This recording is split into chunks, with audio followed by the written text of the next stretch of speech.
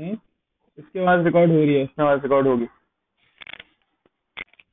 अच्छा तो last class में इसमें आवाज़ रिकॉर्ड हो रही है हाँ बिल्कुल। तुम लोगों की आवाज़ नहीं आएगी लेकिन मेरी आवाज़ रिकॉर्ड हो रही होगी ठीक है? अच्छा अच्छा लास्ट क्लास में हमने पढ़ा था वेरिएबल्स पढ़े थे ठीक है? और हमने डेटा टाइप्स देखी थी कुछ। कौन कौन सी डेटा टाइप्स होती हैं? मुबीन तुम्हें याद है कौन कौन सी टाइप्स होती हैं?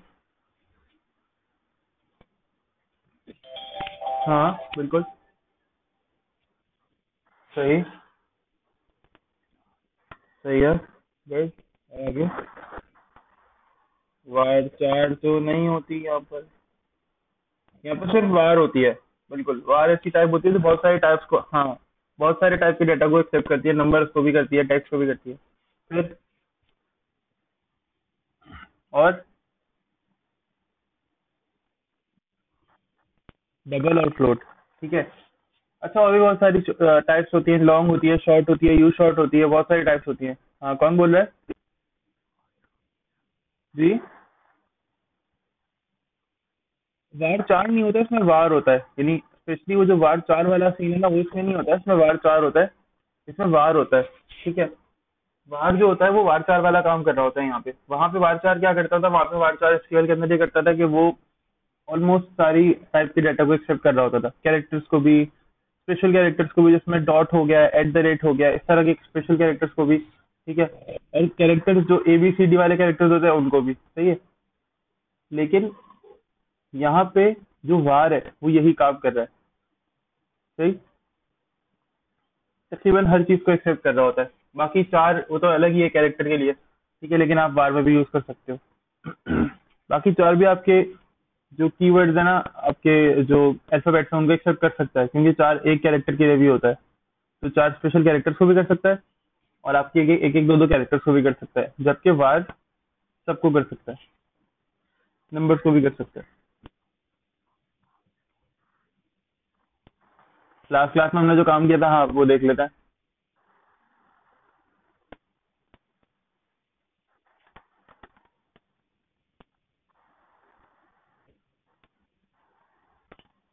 मौसम तुम डबल डबल जगह से क्यों ऑनलाइन आ रहे हो? अच्छा लास्ट क्लास में हमने एग्ज़ाम्पल छोटी सी बनाई थी ठीक है? और इसके अंदर हमने ये सीखा था कि ये सब चीज़ें क्या होती हैं, ये क्या है, ये सब क्या है? यूज़र इनपुट लेना सीखा था हमने, ठीक है? एदम ऑनलाइन हो? ऑनलाइन हो? अच्छा एदम देखो सबसे पहले स्टार्टिंग के अंदर अगर यहाँ देखो ना तो लिखा हुआ था यूजिंग सिस्टम हाँ बिल्कुल। ये सारी लाइब्रेरीज है।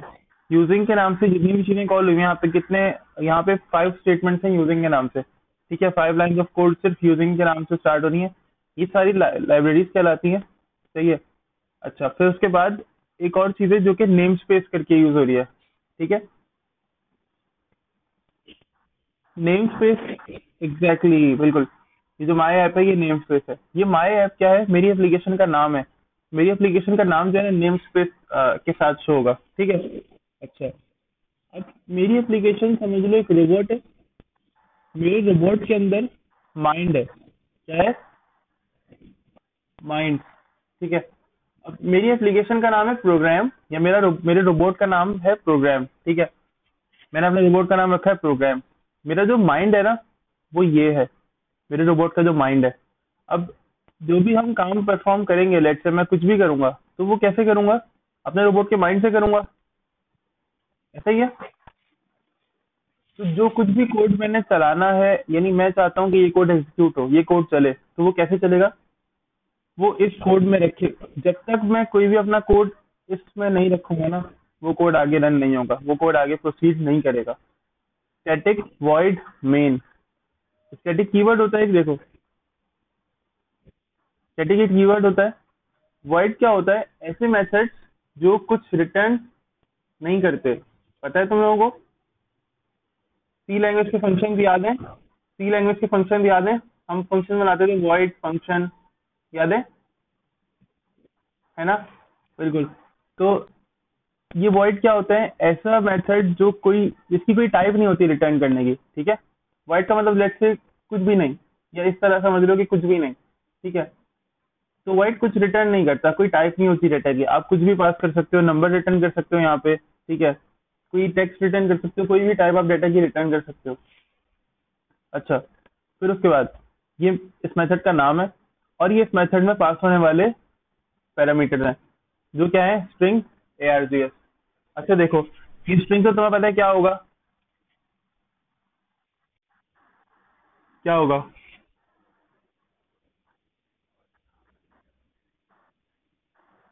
यहाँ पे क्यों लिखा हुआ है? ये यहाँ पे है क्यों लिखा हुआ?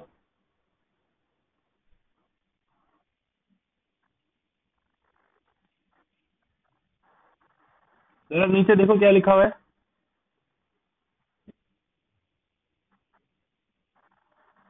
अरे भाई ये ये ये क्या लिखा है?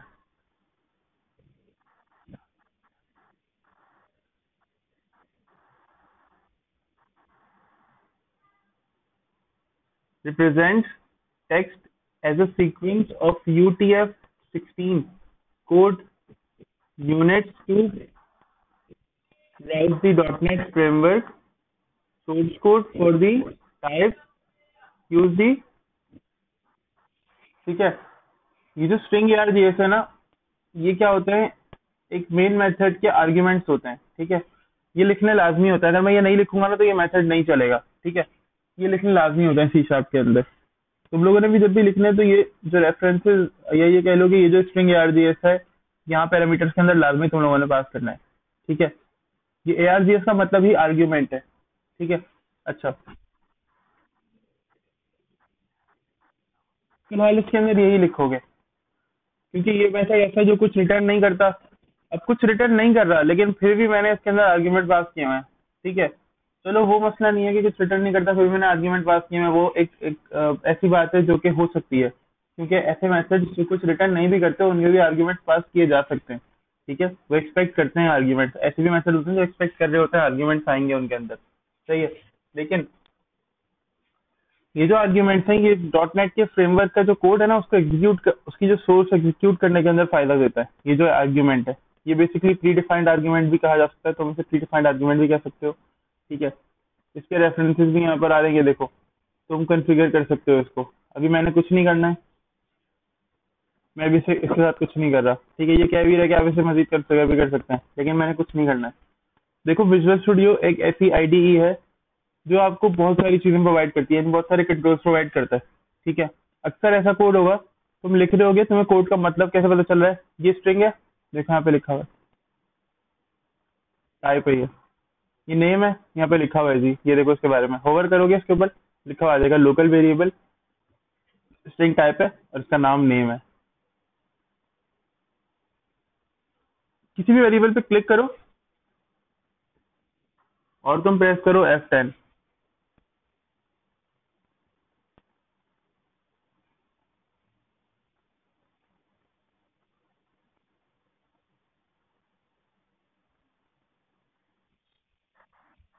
ठीक है? ये तुम्हें इमीडिएट विंडो पे ले जाएगा? डिबगिंग मोड पे ले जाएगा। सही है? अच्छा इसके बाद किसी भी चीज़ पे क्लिक करो राइट क्लिक करो, ठीक है? और इसके बाद देखो यहाँ पे लिखा हुआ है क्या? Go to go to definition click कर दो। ये वेरिएबल जहाँ डिफाइन हुआ होगा ना, वहाँ चला जाएगा। तो ये वेरिएबल कहाँ डिफाइन हुआ है? यहीं पे डिफाइन हुआ है? इसे ही कहते हैं डिक्लेरेशन और डेफिनेशन है ना? डिफाइन करना कैसे कहते हैं? डिफाइन करना कैसे कहते हैं कि आप कोई भी वेरिएबल नया बनाना, नया बनाओ। और यानी और उसकी टाइप को बता दो कि ये इसकी टाइप है। और डिक्लेयर करना कैसे कहते हैं कि कोई भी वेरिएबल नया बनाओ। और डिफाइन करना कहते हैं कोई भी वेरिएबल नया तो बना लिया, अब आपने उसकी टाइप बतानी है तो ये डेफिनेशन भी हो गई। और इनिशियलाइजेशन क्या होती है कि आप किसी भी वेरिएबल को वैल्यू असाइन करो। ठीक है? बिल्कुल। अच्छा। लेट से मैं इसके ऊपर इस इस पे क्लिक करता हूँ। मेन पे राइट क्लिक करता है। गो टू डेफिनेशन करके देखते हैं, क्या पता हम यहीं पर रुक जाए। या हम वाइट पे क्लिक करते हैं। गो टू डेफिनेशन करते हैं। क्या पीछे कहीं इसकी कोई डेफिनेशन है? नहीं है। ठीक है, अगर इसकी कोई पीछे डेफिनेशन होती ना कोई तो यह हमें वहाँ ले जाता। प्रोग्राम पे क्लिक करते हैं। की कोई डेफिनेशन है? नहीं है, ये, इसका मतलब ये चीज़ें यहीं पर बन रही हैं। कि क्लास का कीवर्ड है, ये कहीं डिफाइन हुआ हुआ है? तो ये देखो क्या लिखा हुआ है?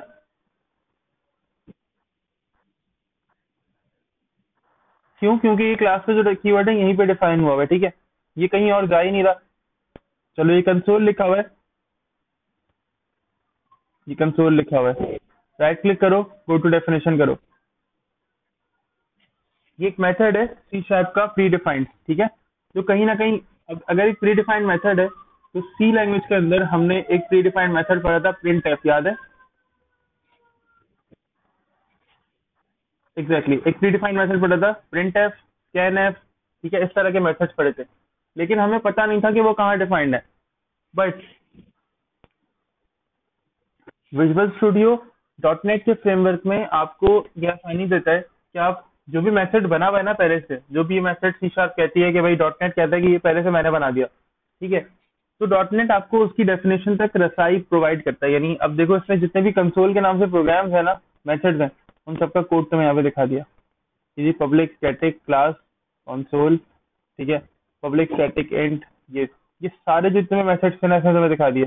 ये ओपन कर लो, ये इनका कोड है। ये कमेंट के अंदर इसने बताया हुआ है कि जी ये क्या करते हैं, क्या नहीं करते। अब ये एब्स्ट्रैक्ट मेथड होता है। एब्स्ट्रैक्ट मेथड होता है खाली। इसको तो बंद कर दिया। ठीक है। हाँ ये बेसिकली डिफाइन हुआ है ना वहाँ पे जाके, इसलिए। और हम आप इस पे काम कर रहे हैं। इसको हम यूज़ कर रहे हैं ठीक है। जैसे नॉर्मल मेथड को यूज़ करते हुए मेथड का नाम लिखा आर्ग्यूमेंट पास किया और यूज़ कर लिया। यूज़ कॉल हो गया मेथड ऐसे ही console dot write line use हो रहा है। अच्छा देखो वेरिएबल कैसे लेंगे यहाँ पे? स्ट्रिंग और नेम ये डिक्लेरेशन और डेफिनेशन हो गई। देन हमने क्या किया? नेम को इक्वल टू किया किसके? कंसोल डॉट रीड लाइन के। Console dot read line console dot read line age M user input लेने के काम आता है। किसके काम आता है? यूज़र इनपुट लेने के काम आता है। इसमें होगा क्या कि हम नेम और एज दो चीज़ों का इनपुट ले रहे हैं। ठीक है? अब बनी age int age integer int क्यों ले रहा हूँ मैं? क्योंकि कौन सी टाइप है ये? एग्जैक्टली exactly, ठीक है? तो इसकी डेटा टाइप में रख रहा हूँ इंटीजर अच्छा यार, हम हम ना दस मिनट के अंदर मीटिंग ऑफ़ करके दोबारा ऑन करेंगे, क्योंकि ये लिमिट दे रहा है। ये यानी मुकम्मल तौर पे मुझे प्रोवाइड नहीं कर रहा कि मैं बिल्कुल अनलिमिटेड टाइम के लिए करूँ मीटिंग ये लिमिट दे रहा है टेन मिनट्स के बाद में ये खत्म हो जाएगा, ठीक है? तो ये समझते हैं, इसके बाद नेक्स्ट जो सेशन है ना, वो स्टार्ट करते हैं। अच्छा ये कंसोल डॉट रीड लाइन क्या करता है? यूज़र इनपुट लेता है। इसके बाद एज का इनपुट लेना था। अब मसला ये कि एज का इनपुट भी मैं कंसोल डॉट रीड लाइन से ले रहा था। लेकिन आ रहा था मेरे पास एरर एरर क्या कह रहा था? वो ये कह रहा था कि भाई कंसोल डॉट रीड लाइन ना हमेशा स्ट्रिंग को गेट करता है। तो कंसोल डॉट रीड लाइन बना है स्ट्रिंग के लिए। कंसोल डॉट रीड लाइन पे क्लिक करते हैं। ठीक है? गो टू डेफिनेशन तो कंसोल डॉट रीड लाइन है स्ट्रिंग के लिए बना है।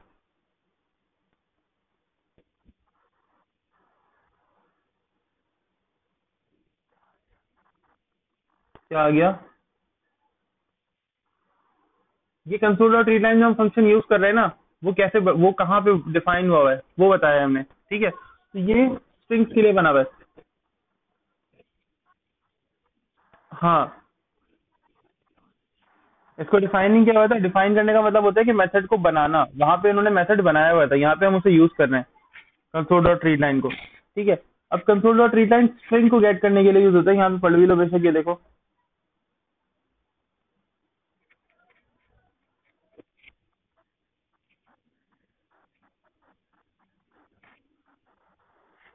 एक मिनट एक मिनट एक मिनट एक मिनट।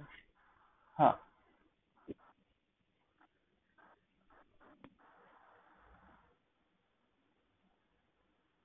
तो समझ में आया? अच्छा देखो। यहाँ पे लिखा हुआ है represent the standard input output and error error streams for console application this class can not inherited to browse the .NET framework, ठीक है? Source code. For the type, see the reference source. अब ये मुझसे कह ये आप, ये आपसे ये कह रहा है कि भाई अगर आपको टाइप देखनी है ना इसकी तो आप रेफरेंस सोर्स जो है वो देखो। रेफरेंस सोर्स से देखने का मतलब है कि आप इसकी लाइब्रेरीज के अंदर जाओ। मैंने फ़िलहाल लाइब्रेरीज में नहीं जाना, लेकिन मैं ये समझ रहा हूँ कि ये रीड लाइन जो है ना, मैं रीड लाइन पे जाता हूँ। ये देखो, ये रीड लाइन बना ही स्ट्रिंग टाइप का है। समझ रहे हो मेरी बात? तो रीड लाइन के अंदर नंबर कैसे आ सकता है? आप समझो बात। अब रीड लाइन बना ही स्ट्रिंग के थ्रू है, इसकी इसकी टाइप ही स्ट्रिंग है यहाँ पर, ठीक है? तो ये कैसे किसी नंबर का इनपुट ले सकता है? मैंने क्या किया? इस पूरे कंसोल और रीड लाइन को कन्वर्ट कर दिया किसके अंदर? इंटीजर 32 के अंदर। Exactly exactly. मैंने मेथड कॉल किया। ये भी प्री डिफाइंड है। कन्वर्ट का मेथड है। कन्वर्ट के मेथड के अंदर एक और वैल्यू पड़ी हुई जिसको कहते हैं इंटीजर में कन्वर्ट करना, ठीक है? मैंने इसको कन्वर्ट किया किसमें इंटीजर में। तो convert dot to int thirty two और फिर उसके ब्रैकेट के अंदर ये पूरा वाला, पूरा मेथड आ जाएगा। ठीक है, और यूज़र क्या?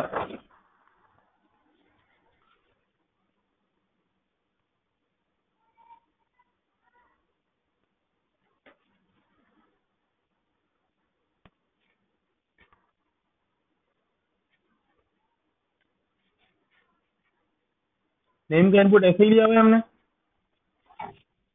देखो ऊपर नेम का इनपुट ऐसे ही लिया हुआ है ना। Name is equal to console dot read line age is equal to console dot read line अब यहाँ पे एरर पढ़ो, ये ये क्यों, ये क्या मसला हो रहा है? मैं आउटपुट में जाता हूँ। और आउटपुट में तो नहीं एरर लिस्ट में।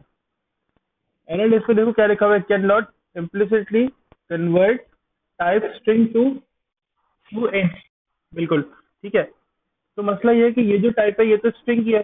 ये देखो, ये तो स्ट्रिंग है। जबकि एज क्या है? इंटीजर इंटीजर है, ठीक है? अब मुझे इसे कन्वर्ट करना पड़ेगा। ये कन्वर्ट नहीं कर पा रहा था, मुझे कन्वर्ट करना पड़ेगा। एक मेथड होता है। Convert dot to int thirty two और ये इसके पैकेट्स हो गए। ठीक है? इस पूरे मेथड को उठाओ। हाँ। लिखना ज़रूरी क्या है? ये आपको खुद ही इंटेलिजेंस के अंदर प्रोवाइड करता है। इसकी इंटेलिजेंस यूज़ करोगे तो फ़ायदे में रहोगे। अपनी तरफ़ से कोशिश करो, ना लिखो। अगर इसकी इंटेलिजेंस आ रही है तो उसको फॉलो करो।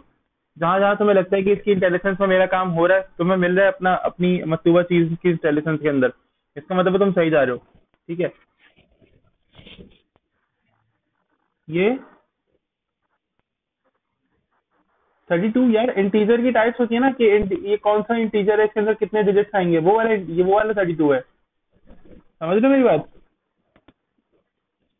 सही है? अच्छा फिर मैंने यूज़र इनपुट से नेम और एज इनपुट ले लिया ठीक है? अब मैं जरा रन कर लेता हूँ प्रोग्राम को।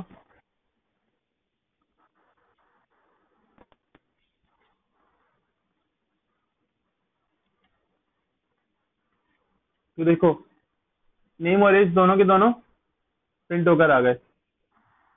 सही है? मसला यहाँ तक? अच्छा मैं सेशन को एंड कर हूँ थोड़ी देर के लिए। हम दोबारा से ज्वाइन करते हैं। कितने लोग हैं इस वक्त? जो लिंक क्लासरूम पे अपडेट किया है, उसी लिंक से दोबारा ज्वाइन करना है। सही है? फॉरन करो, फॉरन। फॉरन फॉरन फॉरन फॉरन। मैं बस एंड कर रहा हूँ और स्टार्ट कर रहा हूँ, फॉरन ज्वाइन कर लेना, क्योंकि लिमिट पूरी हो रही है हमारी।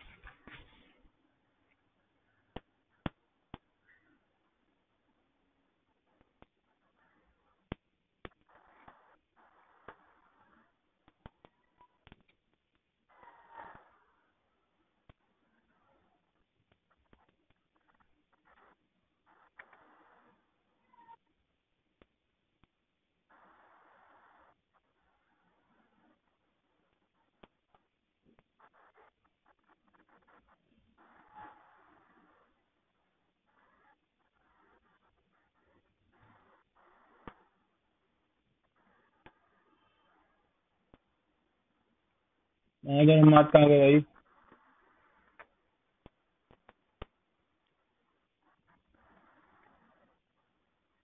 महाद और हम्माद।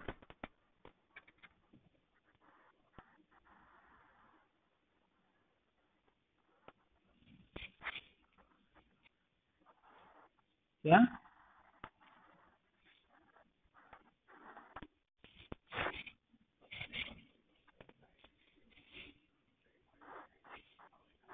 जी। यार अ, किसी भी जगह पे तुमने टैब का बटन यूज़ किया क्या करता है वो? क्या मतलब? अगर नोटपैड पे तुम टैब यूज़ करोगे नोटपैड में टाइप करते हुए तुम टैब यूज़ करोगे तो क्या होगा?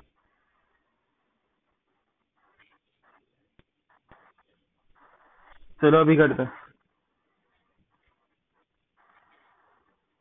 नोटपैड आ रहा है सामने? मैंने टैब प्रेस किया है। देखो हुआ क्या? इसका पॉइंटर कहाँ से कहाँ से, कहाँ तक आ गया, है ना?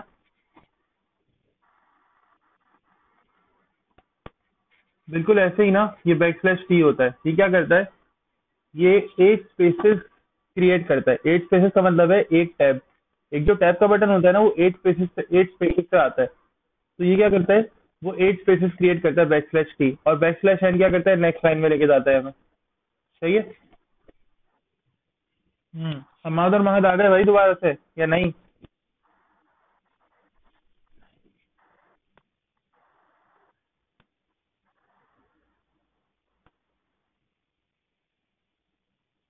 मौसम तुम एक जगह से ऑनलाइन हो यार, एक जगह से मैं तुम्हें ऑफलाइन कर दूँगा। खुद हो जाओ या तो मैं कर दूँगा। किसी एक जगह से हो तुम्हारे दोनों तरफ़ के माइक्स ओपन हो रहे हैं। कंप्यूटर पे हो और कंप्यूटर का माइक ओपन करो बस।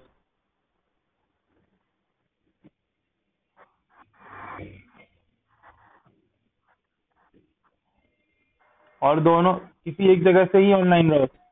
कंप्यूटर से ऑनलाइन हो मोबाइल को बंद कर दो। क्या? क्या कह रहे हो? और कंप्यूटर पे? कंप्यूटर तो यहाँ पे हम क्या कर रहे हैं? हम बेवकूफ़ हैं यहाँ पे क्या? कंप्यूटर ओपन करो और मोबाइल बंद करो।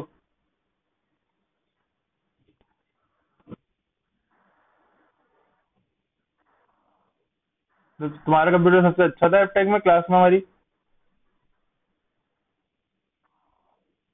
हाँ ऐसा ही होता है बेटा। अब क्या हो रहा है?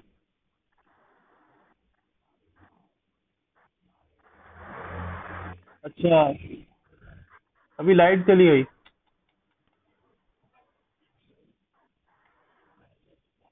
अच्छा यार माद और माह तारे जरा जल्दी बुलाओ इनको। इनको बोलो जल्दी ऑनलाइन आए ऐसे मेरे ख्याल से बीच में आए भी थे। अच्छा कैमरा ऑफ़ करो अपना मौसम कैमरा में ऑन करने की ज़रूरत नहीं है फ़िलहाल। अब और माह तारीखों को यार तो बुलाया यार कैंडी जल्दी।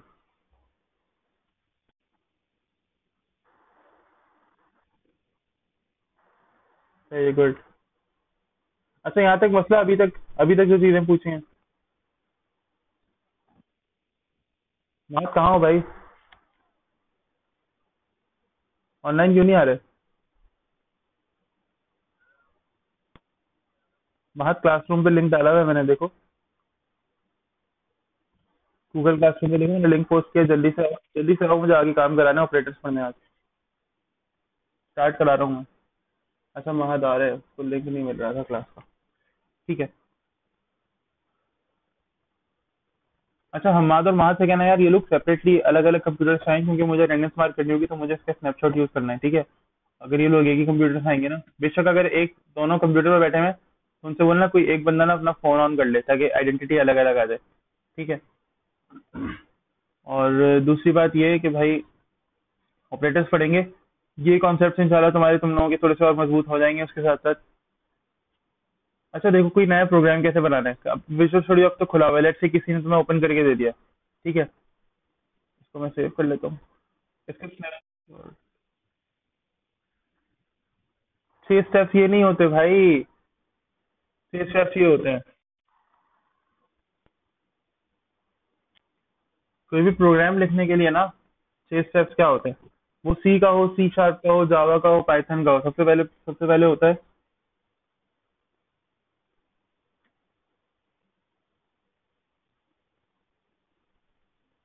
लाइब्रेरीज यानी लाइब्रेरीज इंपोर्ट करना। या लाइब्रेरीज के साथ, यानी सी में लेट से इंक्लूड करना सी शार्प के अंदर यूजिंग करना जावास्क्रिप्ट में सिस्टम डॉट करना, कुछ भी वट एवर पाइथन के अंदर इंक्लूड करना, ठीक है, आपका एच के अंदर एच टी तो चलो प्रोग्रामिंग लैंग्वेज नहीं है जावा जावास्क्रिप्ट के अंदर, कोई ऊपर की फ़ाइल हेडर फ़ाइल लेना कहीं की, ठीक है, कोई भी स्क्रिप्ट के टैग में कोई फ़ाइल या कोई सीडीएन लेकर आना लाइब्रेरी के नाम से, ठीक है? उसके बाद क्या होगी? मेरे पास डिक्लेरेशन और डेस्टिनेशन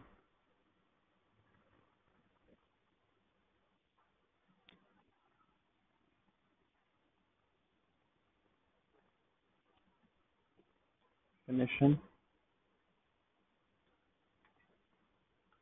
थ्री क्या होगा? इनिशियलाइजेशन ये याद रखना आप दोबारा भी किसी वक्त पूछ सकता हूँ। इनिशियलाइजेशन फोर क्या होगा जी मेरे पास?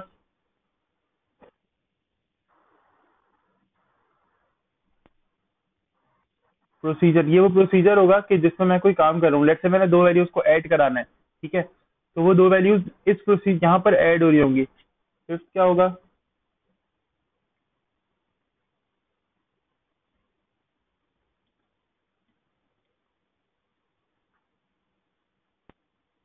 प्रिंट या आउटपुट क्योंकि देखो, अभी हमारा, अभी हमारे पास प्रिंट होगा, लेकिन हर जगह पे प्रिंट नहीं होगा।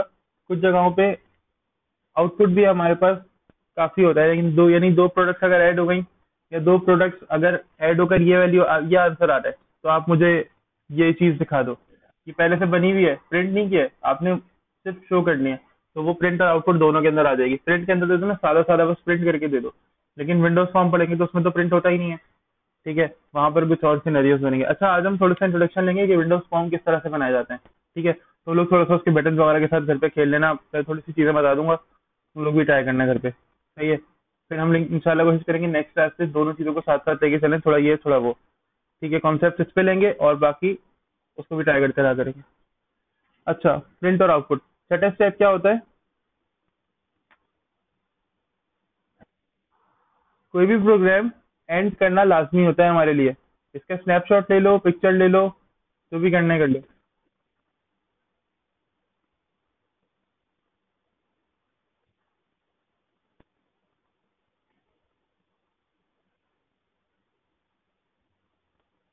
सारे प्रेजेंट हैं? अच्छा महद हम तुम्हारे साथ ही बैठा हुआ है। हम, तुम दोनों भाई साथ ही होगी कंप्यूटर पे हो?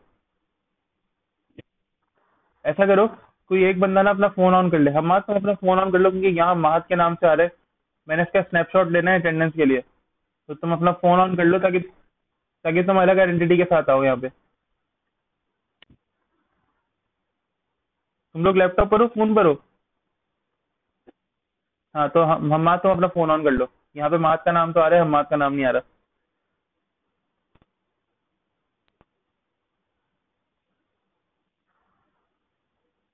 जब तुम कर लो तो मुझे बताओ, जब कनेक्ट हो जाओ तो मुझे बताना, ठीक है? अच्छा तो भाई ये सारे स्टेप्स हो गए लाइब्रेरी सबसे पहला स्टेप क्या है? इरफान, तुम लोगों ने क्या क्या लिखा हुआ था? First step is start program create new program project window में जाए बंदा, वहाँ पे जाए सी शार्प सेलेक्ट करें लेट से तुम लोगों में से किसी ने कहा था कि सर वो मैं लैंग्वेज सेलेक्ट कराना भूल गया। वो स्टेप्स नहीं होते, वो स्टेप्स नहीं होते। सबसे पहला स्टेप कोई प्रोग्राम लिखने का स्टेप सबसे पहले लाइब्रेरी सेकेंड स्टेप आपको उस उस प्रोग्राम के अंदर दरपेश जितनी भी प्रॉब्लम्स हैं, उनके लिए जितने भी वेरिएबल्स बनेंगे, उनको डिक्लेयर और डिफाइन करना। ठीक है, यानी उनको उनको डिक्लेयर कर देना कि ये वेरिएबल है और उनकी टाइप को डिफाइन कर देना कि ये इस टाइप के होंगे। ठीक है? थर्ड स्टेप क्या होगा? थर्ड स्टेप ये होगा कि अगर रिक्वायर्ड है तो उनकी वैल्यूज़ को असाइन करना। वो वैल्यूज़ आप भी दे सकते हो और वो वैल्यूज़ यूज़र से भी आप इनपुट ले सकते हो। ठीक है? फोर्थ स्टेप क्या है? फोर्थ स्टेप क्या होगा? फोर्थ स्टेप उन दो वैल्यूज़ का या कुछ भी, किसी भी वैल्यू का। जैसे कोई फ़ंक्शन बनाना है, कुछ भी काम करना है, ठीक है? तो ये फोर्थ स्टेप में क्या कर रहे हो आप कोई एक प्रोसीजर फॉलो कर रहे होगे। कोई भी लेट से आपने कोई बहुत बड़ी एप्लीकेशन बनानी है, तब भी ये सिक्स स्टेप्स ही काम आएँगे, ठीक है? फोर्थ स्टेप अगर एक बहुत बड़ी इंटरप्राइज एप्लीकेशन बनानी है, तब भी फोर्थ स्टेप के अंदर क्या करोगे? अपनी एप्लीकेशन के जितना भी लॉजिक है ना, जो भी प्रोसीजर है, वो बनाओगे। ये कौन मार्कर से लिख रहा है यहाँ पे?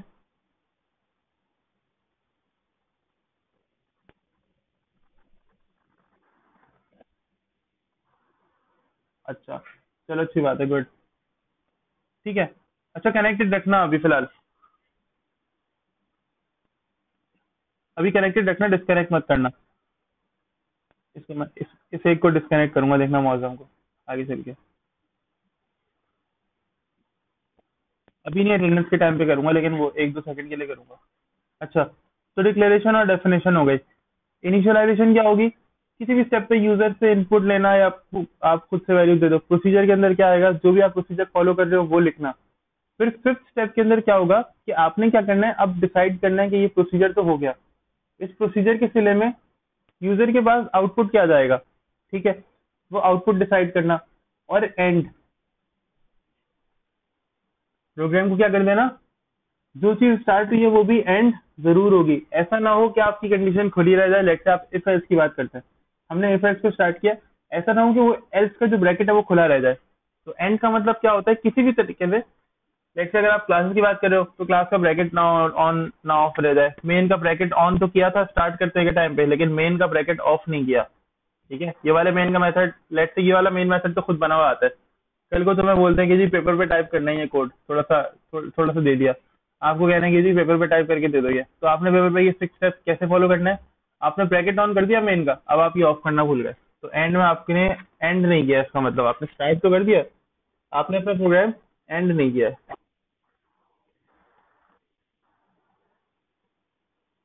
सही है?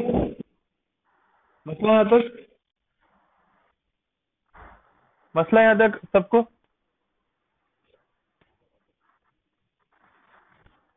अच्छा।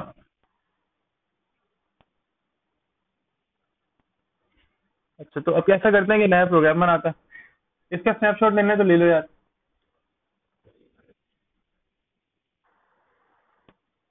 मैं ले लेता हूँ, चलो मैं इसका स्नैपशॉट लेके सेव ही कर लेता हूँ। हाँ यही कर रहा हूँ।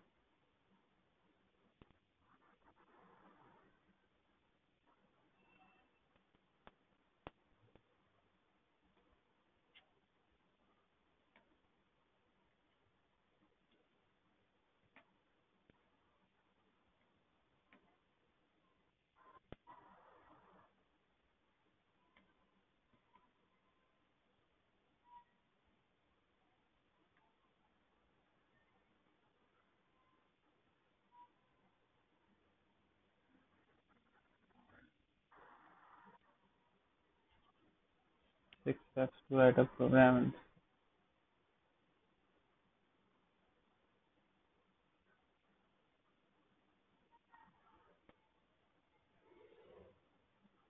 ठीक है। और इसको हम सेव कर देते हैं, ज़रा एक मिनट रुकना। ये ऑनलाइन क्लासेस ना, बड़ी कोई वो चल रही हैं अभी। अच्छा status P R two ninety zero seventy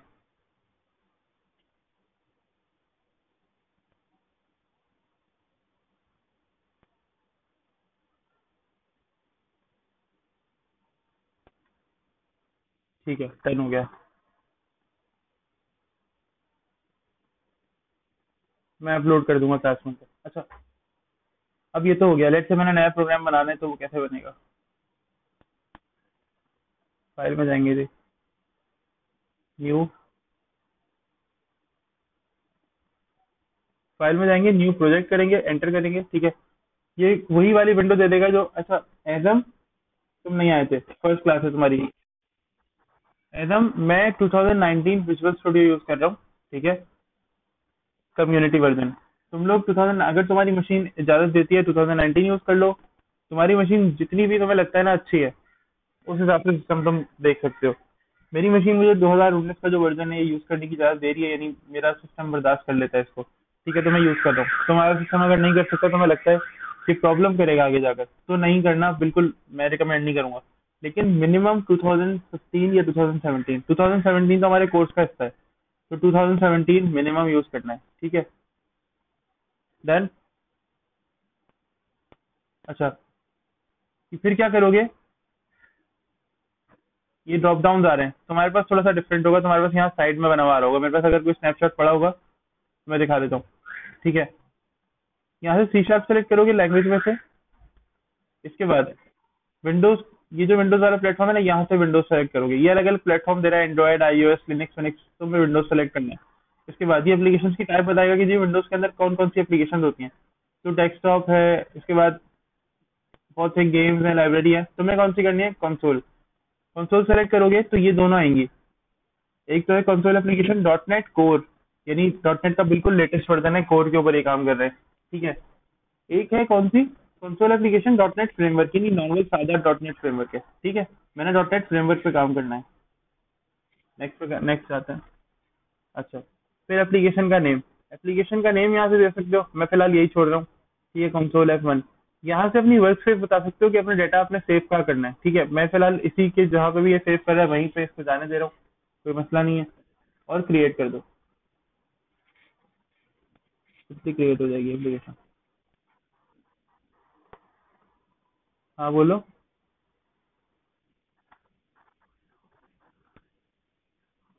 थोड़ा तेज बोलो आवाज़ नहीं आ रही सही से।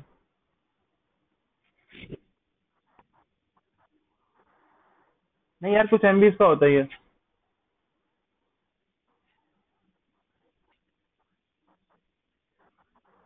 हाँ पास चेंज कर सकते हो मैंने फ़र्स्ट क्लास में शायद पास चेंज करके बताया था। अभी एक, एक और प्रोग्राम बनाएँगे तो दिखा देंगे ठीक है? अच्छा। अब करना ये था कि मैंने तुम्हें बताया था ऑपरेटर्स पढ़ने थे हमें आज। लास्ट क्लास में मैंने कहा था कि टाइम नहीं बचा वाला लास्ट क्लास में पढ़ने थे। तो ऑपरेटर्स पढ़ने हैं भैया ऑपरेटर्स क्या होते हैं? ऑपरेटर्स बहुत सारी तरह के होते हैं ठीक है? हमें अर्थमेटिक ऑपरेटर्स भी पढ़ने है रिलेशनल ऑपरेटर्स भी पढ़ने है और एक ऑपरेटर होता है असाइनमेंट ऑपरेटर ठीक है? असाइनमेंट ऑपरेटर तो, तो बहुत आसान होता है।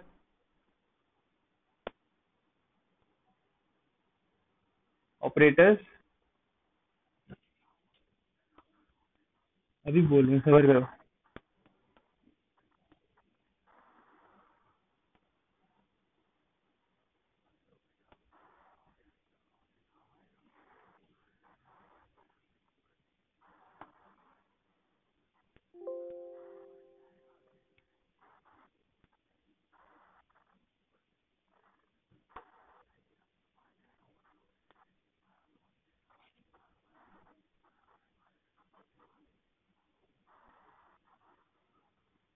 अच्छा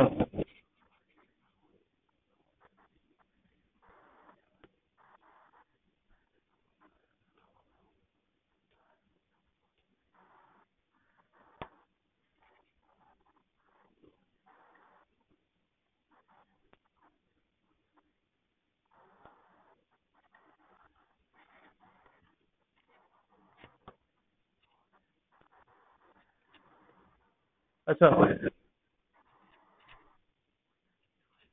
अच्छा ऑपरेटर्स देख लो।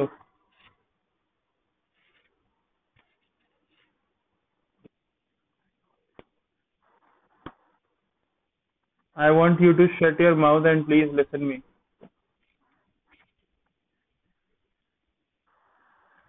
मेरी बात सुन लो। मेरी बात सुन लो मुबीन बाद में बातें कर लेना। असाइनमेंट ऑपरेटर होता है। ठीक है, कुछ ऑपरेटर होता है। ऐसे मुबीन बुरा मत मानना, ठीक है? कुछ ऑपरेटर होते हैं असाइनमेंट ऑपरेटर है। एग्जैक्टली exactly, बिल्कुल। ठीक है अच्छा तो असाइनमेंट ऑपरेटर होता है असाइनमेंट ऑपरेटर के बाद होते हैं arithmetic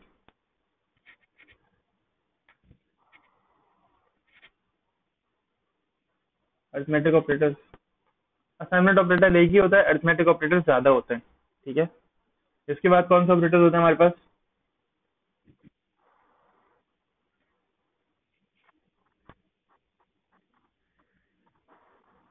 जियो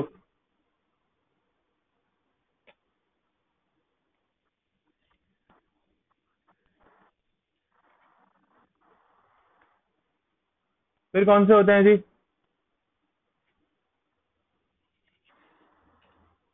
लॉजिकल या कंडीशनल कह लो, ठीक है? जो डिफाइन कर रहे होते हैं।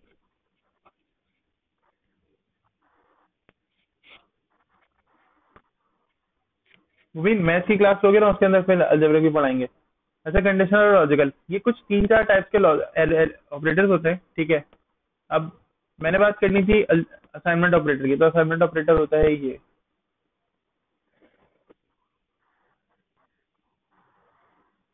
नहीं।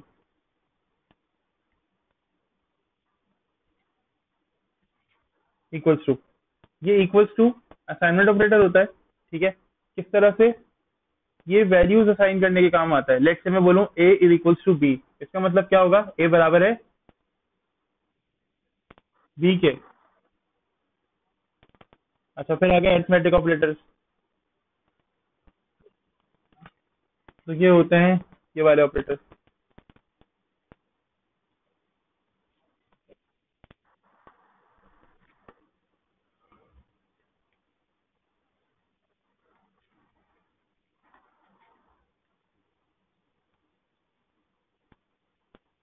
than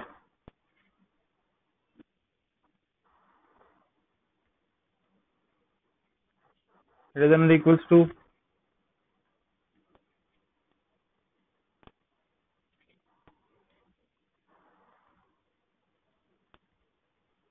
ठीक है? ग्रेटर देन और इक्वल्स टू लेस देन और इक्वल्स टू फिर आ गया मेरे पास क्या चीज़?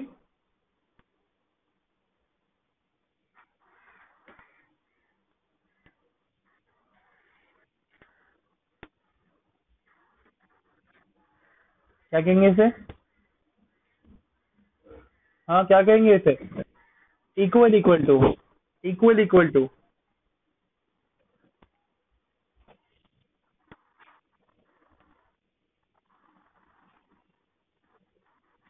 अब ये क्या हो गया?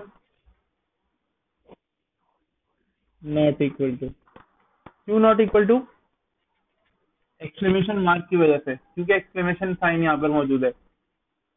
एक्सक्लेमेशन मार्क इक्वल इसका मतलब होता है नॉट इक्वल टू ये सारे कौन कौन से ऑपरेटर्स हो गए? अर्थमेटिक ऑपरेटर्स हो गए. इसके बाद कौन से आ गए? यानी ये सारे हो गए आपके अर्थमेटिक ऑपरेटर्स अच्छा अर्थमेटिक नहीं है, ये रिलेशनल है, एक मिनट रुक जाओ. अर्थमेटिक तो प्लस माइनस होता है. जहन से निकल गया मेरे. माई मिस्टेक ये रहे. नहीं नहीं नहीं नहीं, बोले रहे.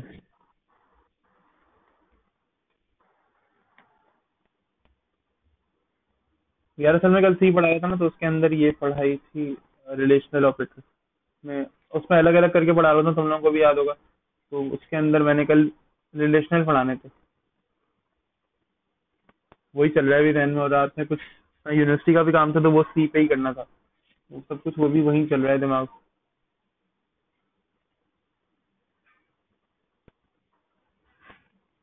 मल्टीप्लीकेशन ठीक है भाई? Addition, subtraction, division, multiplication. काम तो एक और भी होता है। मॉड्यूलस। ये मॉड्यूलस क्या करता है?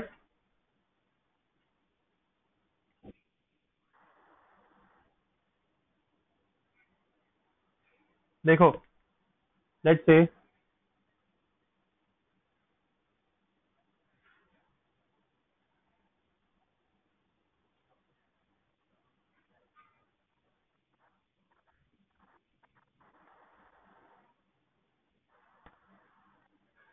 सही है मसला यहाँ तक? ऐसी क्या वैल्यू यहाँ लिखूं के नीचे फोर आ जाए? यहाँ पे?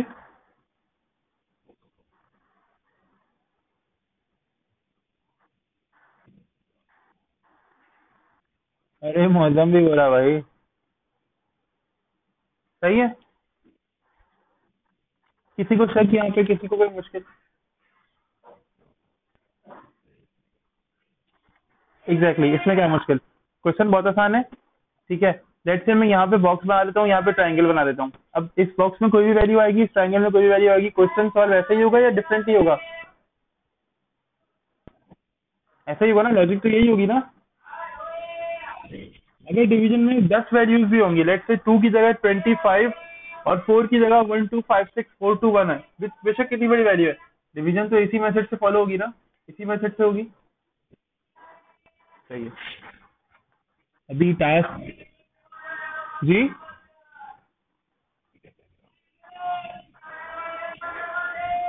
यही ये मैं मेरी घर के बाहर गली के अंदर ना ये वो चल रहा है, टमाटर वाला टमाटर बेचता है। ठीक है? अच्छा। हाँ ना अच्छा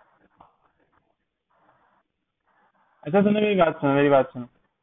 अभी यहाँ पे क्या रिमेनिंग आ रहा है? ऊपर ये क्या ये क्या होता है?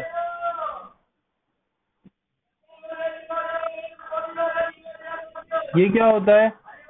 और ये क्या होता है?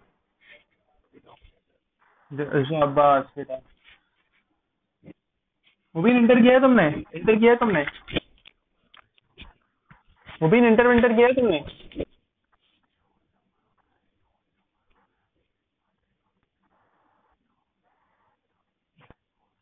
हाँ तो बस अब तुम नहीं बोलना। नहीं, बोल लेना मतलब मैं मज़ाक कर रहा हूँ, लेकिन तुमने मतलब मैट्रिक वैट्रिक नहीं किया मुझे लग रहा है। खैर, ये क्या होता है? होल नंबर नहीं होता यार ये। चलो यार, तुम लोग ऐसा करो। बताओ क्या होता है ये? रिमाइंडर क्या होता है रिमाइंडर ये रिमाइंडर है। ये। ऊपर रिमाइंडर होता है। माँ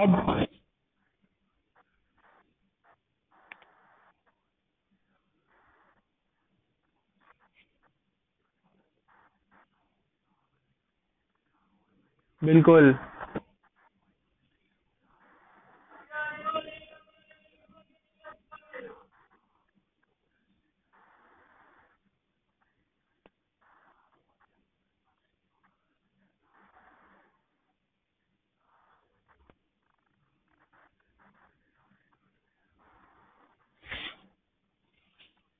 ये क्वेश्चन होता है। ये क्वेश्चन होता है और ये रिमाइंडर होता है। डिवीज़न हो रहा है। डिवीज़न के अंदर न्यूमिनेटर ये है, यानी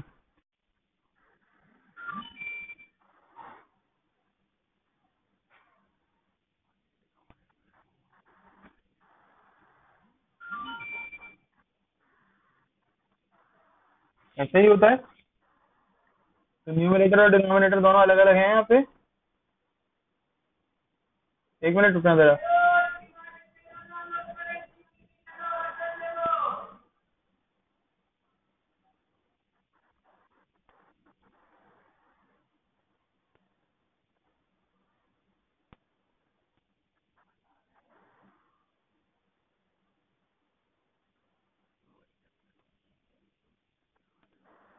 हम्म रिकॉर्ड हो रही है तुम लोगों की आवाज़?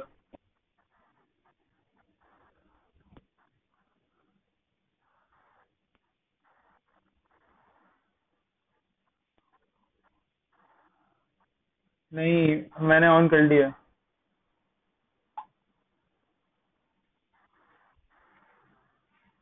ठीक है? तो न्यूमिनेटर अलग और डिनोमिनेटर अलग। न्यूमिनेटर ये वो होता है जो अंदर जाता है इस कैप के। और डिनोमिनेटर क्या होता है वो जो बाहर रहता है। Exactly exactly. ठीक है? अच्छा। अब तुम लोग समझ गए कि क्या मतलब है? मैं कहना क्या चाह रहा हूँ? नहीं समझे? मैं ये कहना चाह रहा हूँ कि क्वेश्चन क्या होता है रिमाइंडर क्या होता है? क्वेश्चन ये होता है और रिमाइंडर ये होता है। बिल्कुल। बस अब ये बात याद रखना। डिवीज़न के सिले में हमें क्या मिलता है? नहीं। क्वेश्चन टू क्या है? टू क्या है? टू क्या है? क्वेश्चन और मॉड्यूलस के सिले में हमें क्या मिलता है? Exactly exactly. अरे फिर रनिंग आउट ऑफ़ टाइम यार। चालीस मिनट हो गए क्या दोबारा स्टार्ट किए हुए? हाँ हो गए हो गए हो गए हो गए हो गए। ठीक है? तो रिमाइंडर और क्वेश्चन रिमाइंडर और बड़ी जल्दी करिएगा रिमाइंडर और क्वेश्चन ठीक है? अब रिमाइंडर कब बचता है?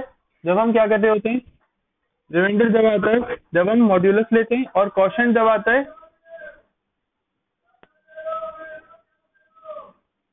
क्वेश्चन कब आता है और रिमाइंडर कब आता है? एक मिनट, रुकना यार, मैं जरा एक आईडी शेयर कर लूँ जरा सर, इधर के साथ।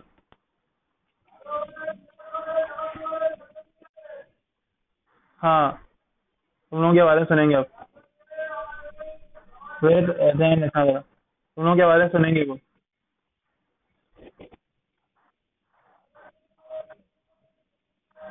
ठीक है अच्छा तो क्वेश्चन क्वेश्चन कब आएगा?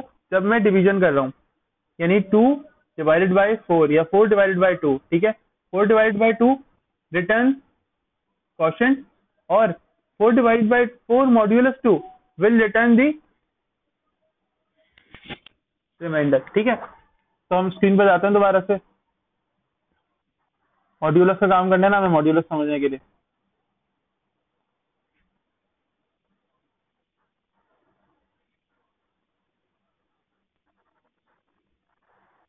भाई, क्या हो गया? ठीक है? तो परसेंटेज का साइन क्या करेगा यहाँ पर? हमें क्या रिटर्न करेगा? रिमाइंडर ठीक है? अभी काम मिलेगा इसका। मैं मैं टास्क दूँगा क्लास के एंड पे, ये करना है। इवन नंबर निकालना है। चेक करना है कि नंबर ऑड है या इवन है। अभी इफ़ एल्स को भी देखेंगे तो उसके साथ साथ तुम लोगों को चेक करना है कि नंबर ऑड है या इवन है। ठीक है? अच्छा। फिर ग्रेटर देन का मतलब क्या होता है? वैल्यू बड़ी चेक कर रहा हूँ। लेस देन का मतलब क्या होता है? वैल्यू लेस देन है, ये चेक कर रहा हूँ। ग्रेटर देन और इक्वल टू का मतलब क्या होता है कि वैल्यू बड़ी है या बराबर है, ये चेक कर रहा हूँ। इनमें से कोई एक भी अगर सही होगी तो आंसर वन में आएगा। लेस देन और इक्वल टू का मतलब क्या होता है? वैल्यू छोटी है या बराबर है? कोई भी अगर एक करेक्ट होगा तो वो आंसर आ जाएगा। इक्वल इक्वल टू में क्या होता है? कि अगर वैल्यू और टाइप दोनों बराबर है तो फिर मैं ये चेक कर रहा होता हूँ। और नॉट इक्वल टू का मतलब होता है कि मैं चेक कर रहा हूँ कि वैल्यू दोनों आपस में बराबर हैं या नहीं है। अगर मैं लिख रहा हूँ कि ए इक्वल टू बी मैंने दो इनपुट लिए, दोनों वैल्यूज़ मैंने बराबर एंटर की, जबकि मैंने रिलेशन कैसे किया हुआ है? A is not equal to कहा गए सब लोग? A is not equal to B हाँ बिल्कुल। जब हम ये चेक कर रहे हैं कि कंडीशन ट्रू है या फॉल्स है, ठीक है? तो हम क्या कर रहे होते हैं? ये नॉट इक्वल टू लगा रहे होते हैं। लेक्चर में लिखना तो दोनों वैल्यूज़ को इक्वल चाह रहा हूँ, ठीक है? मैंने मैंने क्या किया? यूज़र इनपुट लिया। दोनों वैल्यूज़ सेम आ रही है। इनपुट दोनों वैल्यूज़ का सेम आ रहा है। बट मैंने रिलेशन कौन सा लगाया हुआ है? मैंने रिलेशन लगाया हुआ है नॉट इक्वल टू का। तो वो कहेगा कि आपने वैल्यूज़ तो सेम एंटर किए फिर भी आप ये कह रहे हो। यानी आप वैल्यूज़ लिख सेम रहे हो।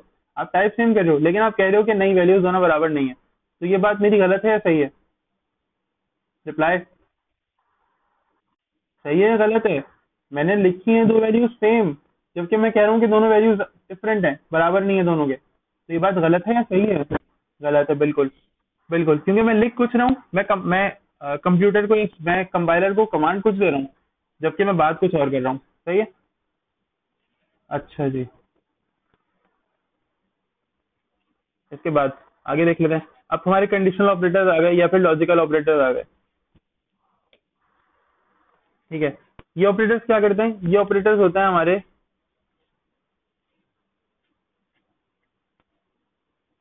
एंड और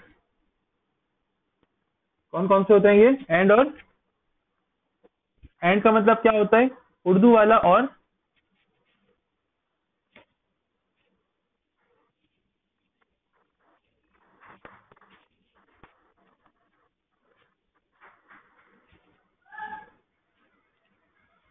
मैं उर्दू में लिख भी रहा हूँ ताकि तुम लोगों को समझ में आ जाए।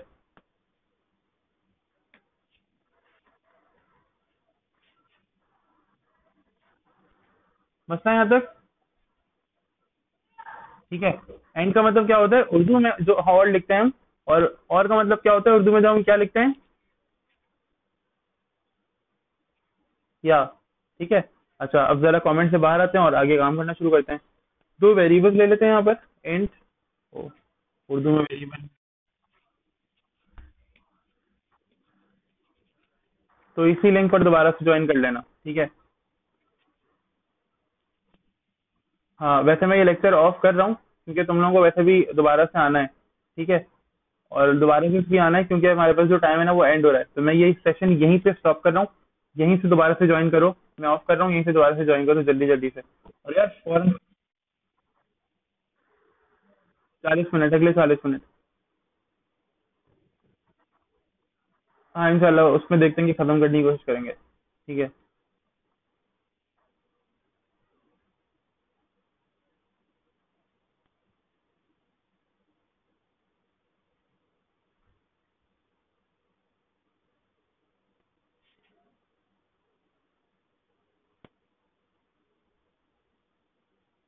अच्छा जी तो आई एम बैक और,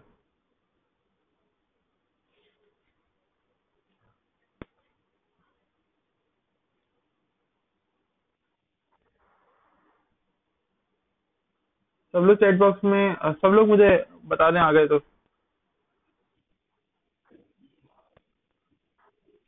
गुड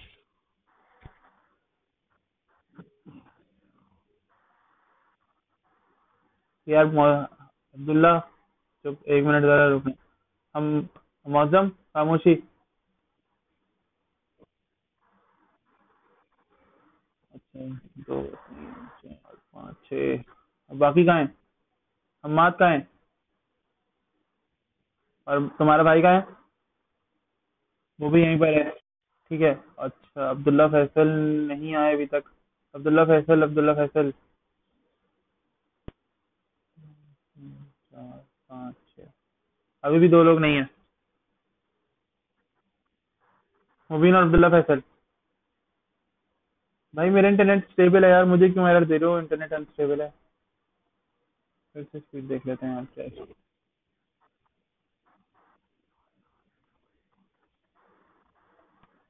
भाई, मेरे पास इंटरनेट की स्पीड इतनी अच्छी आ रही है, उससे भी मुझे एरर दे रहा है।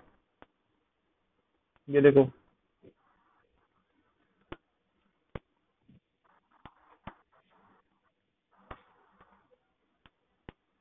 अरे फास्ट का देख लेते हैं भाई। कौन सा?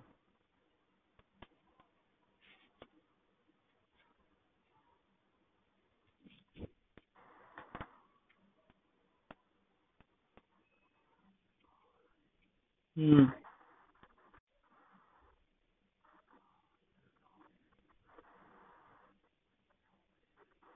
ये देखो 4.7 तो इसमें भी आ रही है। चलो, अगर उसमें भी 16 आ रही है तो इसमें भी 4.7 आ रही है। इतना हल्का इंटरनेट नहीं है मतलब। फिर जस्ट लीव इट अच्छा दो वेरिएबल लेते हैं इंटीजर ए ठीक है, और इसमें वैल्यूज़ यूज़र एंटर करेगा।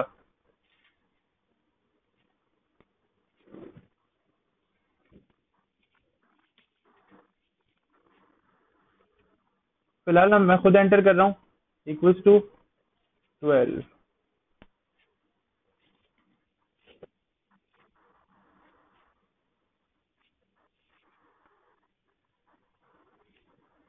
ये जो मैंने लिखा है ना integer A is equals to twelve ये जो इक्वल्स टू लगाया है, ये क्या कहलाएगा?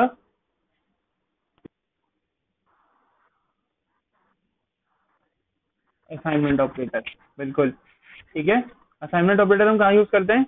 वैल्यूज़ को इक्वेट करने के लिए यूज़ करते हैं। तुम लोगों का टास्क यह है इसका कि भाई ए की जो वैल्यू है ना, उसको बी में रख देना है और बी की वैल्यू को ए में रख देना है without taking any other variable सही है?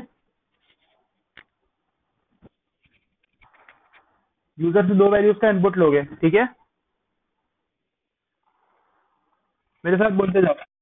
हाँ बिल्कुल यूज़र से दो वैल्यूज़ का इनपुट लो ए और बी या तो वैल्यूज़ पहले से डिफाइन कर दो, ठीक है? वैल्यू ए और वैल्यू बी फिर क्या करो?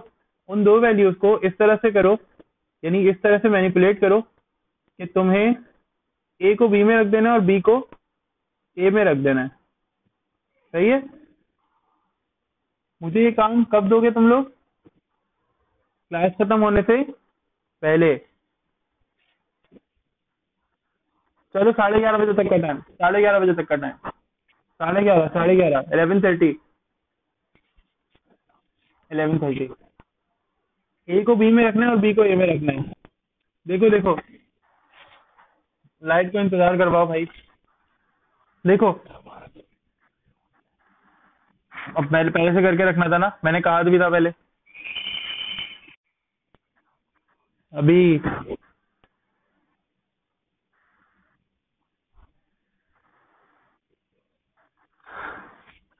ग्यारह बजे के बाद चले जाना। साढ़े ग्यारह बजे के बाद चले जाना। अच्छा सुनो मेरी बात। ए है ए में ट्वेल्व है। पहले मेरी बात सुनो। ए में है ट्वेल्व और बी में क्या है? तुम्हारा गोल ये है कि तुम्हें ए में ट्वेंटी वन लेकर आना है और बी में ट्वेल्व लेकर आना है। ऐसा नहीं होगा। नहीं नहीं नहीं वैल्यू यूज़र एंटर करेगा। वैल्यू यूज़र एंटर करेगा। और तुम्हें वैल्यूज़ का इनपुट भी ए और बी में लेना है, मैं कोड भी चेक करूँगा। ठीक है? लेकिन बाद में कुछ इस तरह इनको इक्वल करो या इसमें से माइनस करो या उसमें एडिशन सब्ट्रैक्शन करो कि ये दोनों वेरिएबल्स अपनी वैल्यूज़ आपस में एक्सचेंज कर लें। समझ रहे मेरी बात? ए को बी में लेकर आना है। और बी को किसमें लेकर जाना है? किसमें लेके जाना है बी को? ए को अगर बी में लेके जाना है तो बी को किसमें लेके जाना होगा? यही तो काम करना है। चलो, ऐसा करते हैं, ऐसा करते हैं हाँ। यही तो टास्क है। अच्छा ऐसा करते हैं। वेरिएबल एक वेरिएबल बनाने की ज़रूरत है। एक इंटीजर टाइप का वेरिएबल बनाने की वेरिएबल बनाने की ज़रूरत है, ठीक है?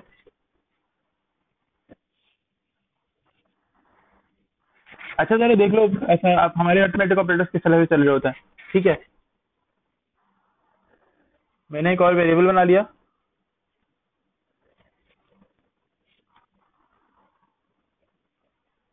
Result is equals to A plus B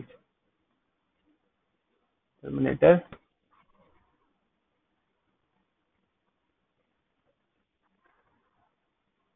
result ठीक है?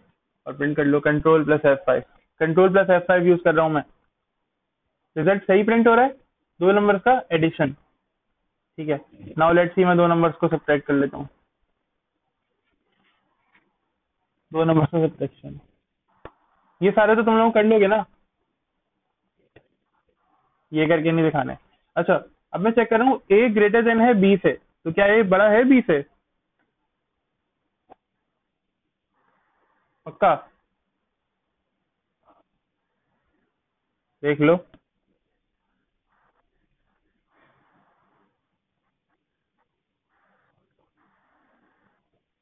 अब जरा देखो। हाँ। अब जरा, एक मिनट देखो। अब जरा देखो एरर आ रहा है।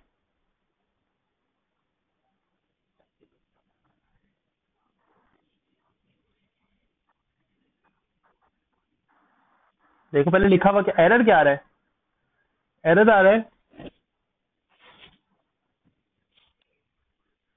Can not implicitly convert type bool to int मसला यह है कि ए और बी तो इंटीजर्स हैं, लेकिन इसका जो आंसर आएगा वो ट्रू और फॉल्स में आएगा। तो ट्रू और फॉल्स के लिए हमने एक टाइप पढ़ी थी जो कि बूल कहलाती है है ना?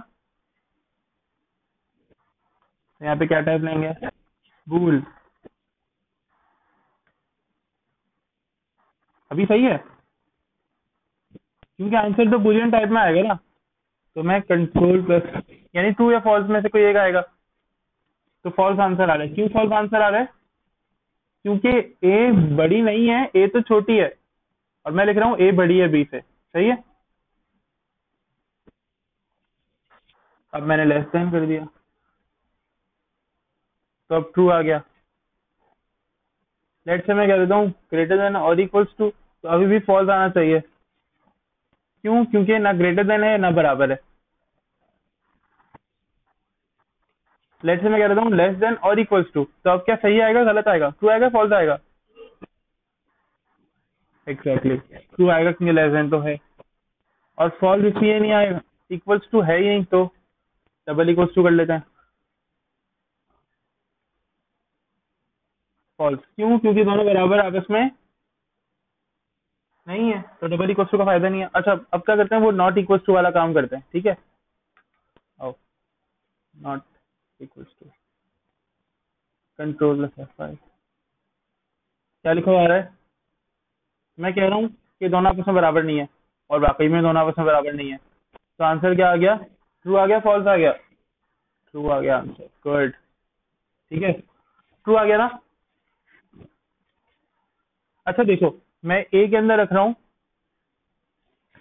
फोर टू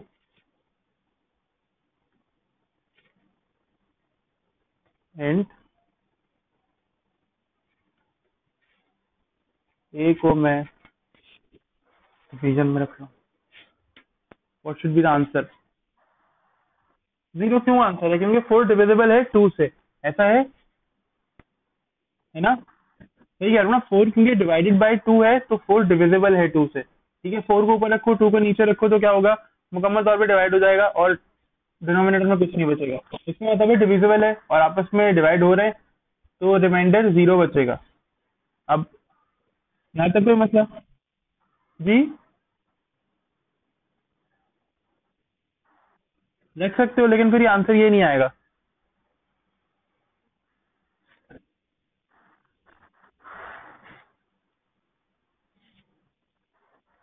समझ रहे हो?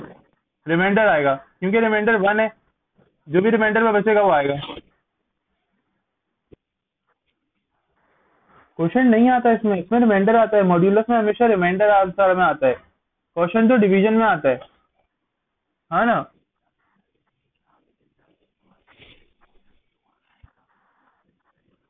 अरे मुझे रिमाइंडर चाहिए ना, मुझे क्वेश्चन से कोई ताल्लुक ही नहीं है इसके अंदर। समझ रहे मेरी बात? बात समझे नहीं समझे?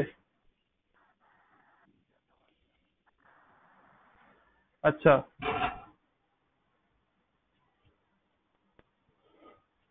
अच्छा आगे क्या करते हैं? ये कोड जो है ना ये जो क्लास का कोड है, मैं तुम लोगों को दे दूँगा। नोटपैड की फ़ाइल में बनाकर तो तुम लोग अपने पास प्रैक्टिस करने के टाइम पे बेशक ओपन करके देख लेना मसला नहीं है। ठीक है? आगे चलते हैं नया प्रोग्राम में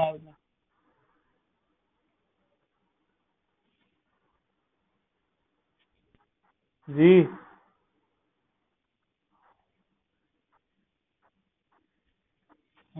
हाँ। बिल्कुल।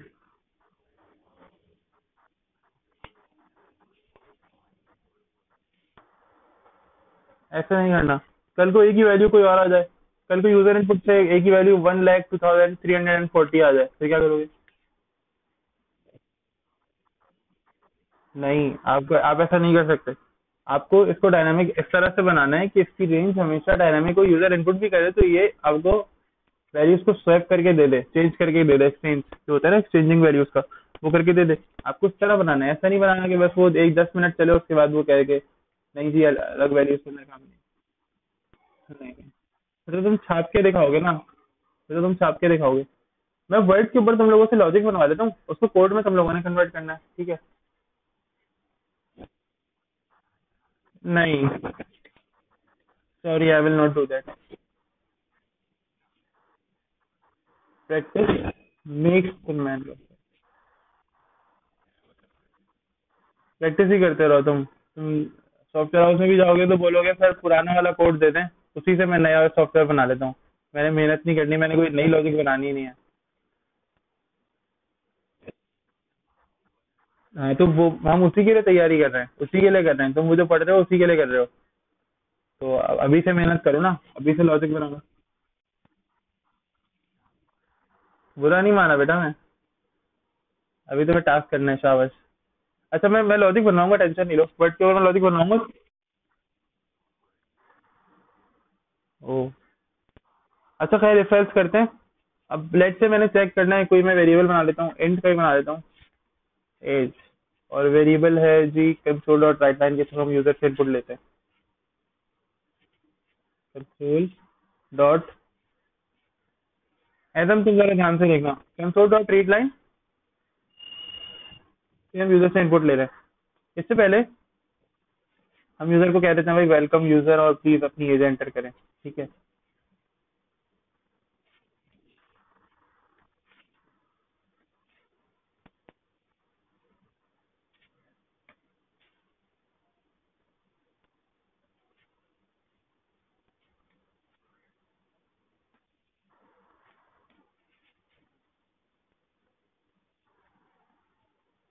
प्लीज़ एंटर योर एज है ठीक है?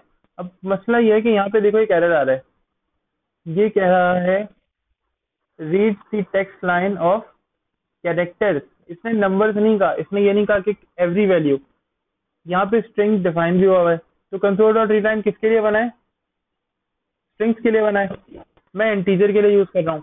मुझे क्या करना पड़ेगा? इसको कन्वर्ट करना पड़ेगा इंटीजर के अंदर। तो इसका तरीका होता है। Convert dot to int 32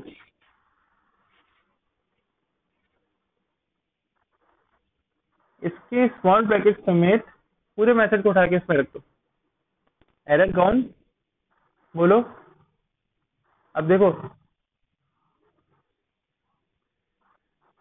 अरे सर आप हाँ लिख लेना लिख लेना। लेकिन यूज़ करो यूज़ करो विजुअल स्टूडियो के टूल्स को जो ये दे रहा है। ज़्यादा बेहतर है। एज एंटर कर ली। अब मैंने चेक ये करना है कि अगर if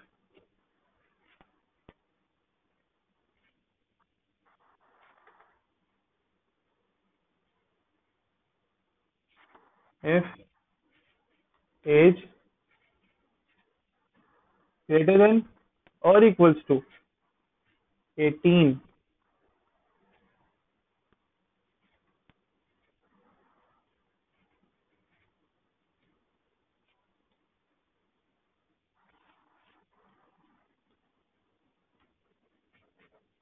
तो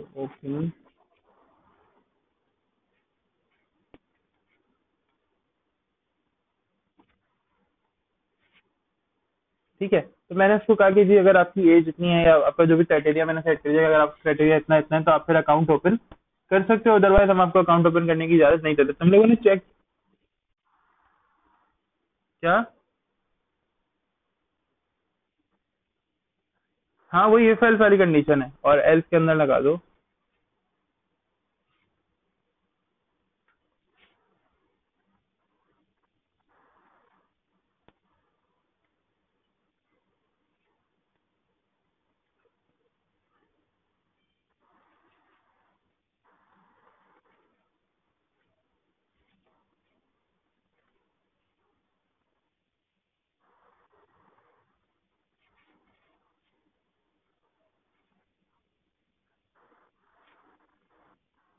ठीक है? तो मैंने क्या किया? कंट्रोल एफ़ फाइव प्रेस किया। यूज़र ने एज यूज़र से मैंने एज मांगी यूज़र ने एज ट्वेल्व एड किया। तो मैंने क्या कह दिया? प्लीज़ को अच्छा। वाई से चलाते हैं। अभी यूज़र एज एंटर करेगा ट्वेंटी वन तो क्या कहा इसने? कि जी आप अलाउड हैं अकाउंट वगैरह खोलने के लिए, जो भी आप चाहते हैं कर ठीक है? अच्छा तुम लोगों ने करना ये है। चलो वो वाला वो वाला टास्क छोड़ो। करना ये है कि यहाँ पे, इस पॉइंट पे दो वेरिएबल्स को आपस में, जैसे हमने यहाँ पिछले वाले प्रोग्राम में किया था ए को बी से मॉड्यूलस करवाया था ए मॉड्यूलस बी ठीक है? ए परसेंटेज बी का जो साइन था। तो मैं यहाँ पे वो काम करना है, दो वेरिएबल्स का इनपुट लेना है, यहाँ स्टार्टिंग में, ठीक है? दो वेरिएबल्स का इनपुट लेकर, उन दोनों के दरमियान मॉड्यूलस यूज़र इनपुट होना चाहिए। मॉड्यूलस का साइन लगवाना है, और इफ़ के अंदर ये चेक करवाना है कि जो रिज़ल्ट है, जिस वेरिएबल में तुमने उन दोनों का मॉड्यूलस रखा है, दोनों का मॉड्यूलस का रिज़ल्ट रखा है, वो वेरिएबल अगर ज़ीरो के बराबर होता है तो तुम्हें यहाँ पे लिख देना है कि your given number is given number is even even यानी तुम्हें इवन नंबर चेक करना है। इवन नंबर कैसे चेक होता है? अगर तो मॉड्यूलस का आंसर ज़ीरो आ जाए तो इसका मतलब है कि आपका गिवन नंबर क्या होगा?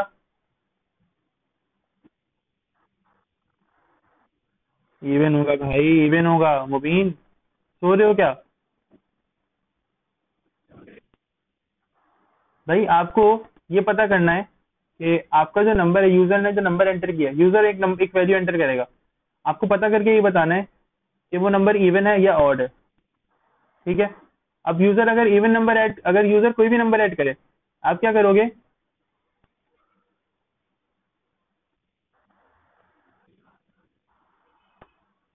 मैं दिखाई दे रहा हूँ भाई। ये देखो ये बॉक्स है। ये ट्राइंगल है, ठीक है? बॉक्स ये यूज़र इनपुट है, ये टू है। यूज़र कोई भी नंबर एंटर कर सकता है, ठीक है? तुम्हें टू को सेट करना है। वेरिएबल का नाम बॉक्स वेरिएबल का नाम ट्राइंगल तुम्हें यूज़र इनपुट को मॉड्यूलस करवाना है। अरे, बड़ा गंदा बना है।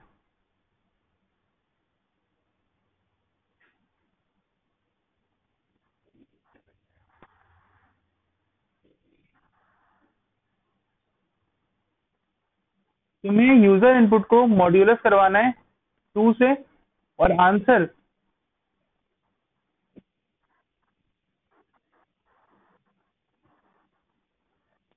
आंसर अगर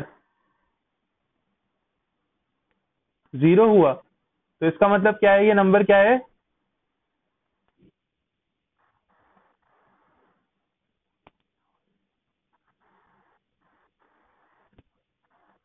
मौसम तमीज से बात करो।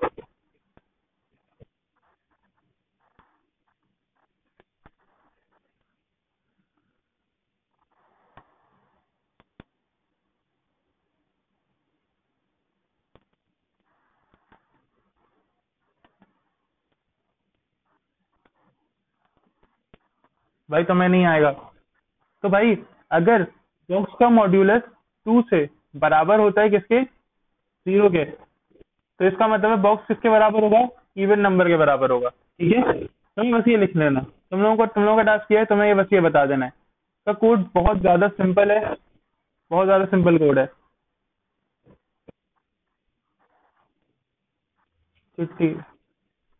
ग्यारह साढ़े ग्यारह बजे से पहले पहले।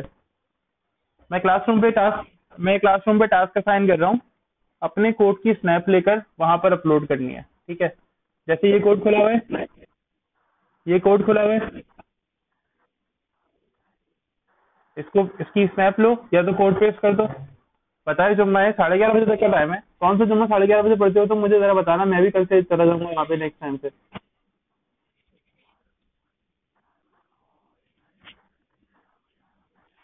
कोई चार बजे, चलो ठीक है, चार बजे तक का टाइम ठीक है? लेकिन फिर उसके अंदर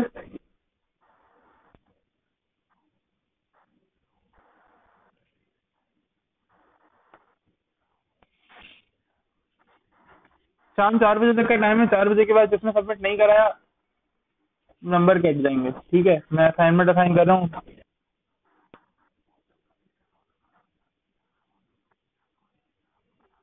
अच्छा चलो फिर अगर अभी रुक जाओ, फिर अगर ऐसा कर लो तो फिर थोड़ा सा क्लास को चलाओ। क्लास में फिर दे रहा हूँ। क्लास को आगे बढ़ाते हैं। अच्छा ये तो हो गया। अब जो वेरिएबल में तुमसे कह रहा था कि किस तरह से दो वेरिएबल्स के साथ तुम्हें खेलना है, वो कैसे होगा? देखना। हम तुम्हें करके दिखाते हैं वो काम। लेकिन अब तुम्हें फिर थोड़ा सा हाँ रख देंगे रख देंगे।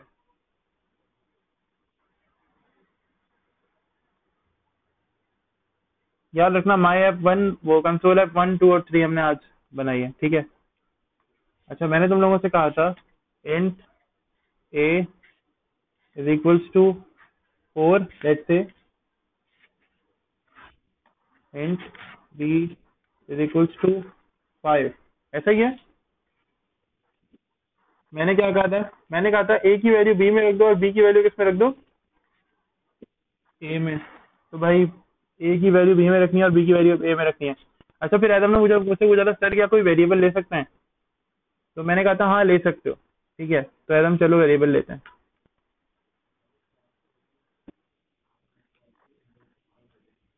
नॉट नॉट पॉसिबल नहीं हो पाएगा। मुबीन, चुप रहो। या, मुबीन मुबीन, उसको बोलने दो। कम से कम बोल तो रहा है, कम कुछ बोल तो रहा है। अच्छा अब्दुल्ला, फ़ायदा नहीं होगा। कल को टू की जगह, कल को टू की जगह ट्वेंटी फोर आ जाएगा। तो ट्वेंटी फोर में एक ऐड करोगे और बी की जगह आ जाएगा टू और बी में से एक माइनस कर दोगे। तो तो वैल्यूज़ ऐसे नहीं होंगी। मसला हो जाएगा फिर तो। वैल्यूज़ को इस तरह चेंज करो कि कल को वैल्यूज़ हज़ारों, लाखों में पहुँच जाए, तब भी तुम्हारे प्रोग्राम पे इफ़ेक्ट ना है अच्छा स्टेप देखना जरा। पहला स्टेप दूसरा स्टेप देखना। A comma B comma C तीन वेरिएबल से काम करेंगे हम ये वाला, ठीक है? ऐसा हमने कहा था सर तीन वेरिएबल से कर ले मैंने कहा, चलो ठीक है। A is equals to four step two कर रहे हैं हम लोग। C is equals to five step three पर आ गए।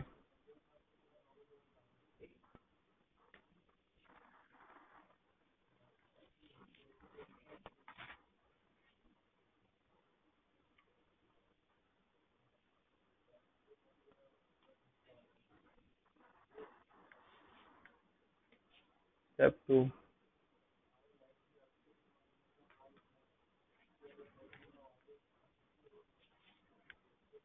step number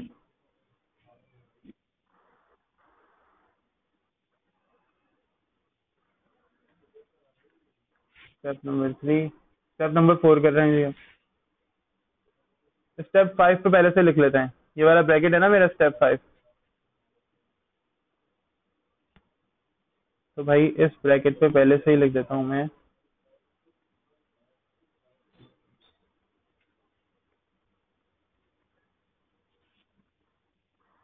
step six step four और फाइव रहेगा स्टेप फोर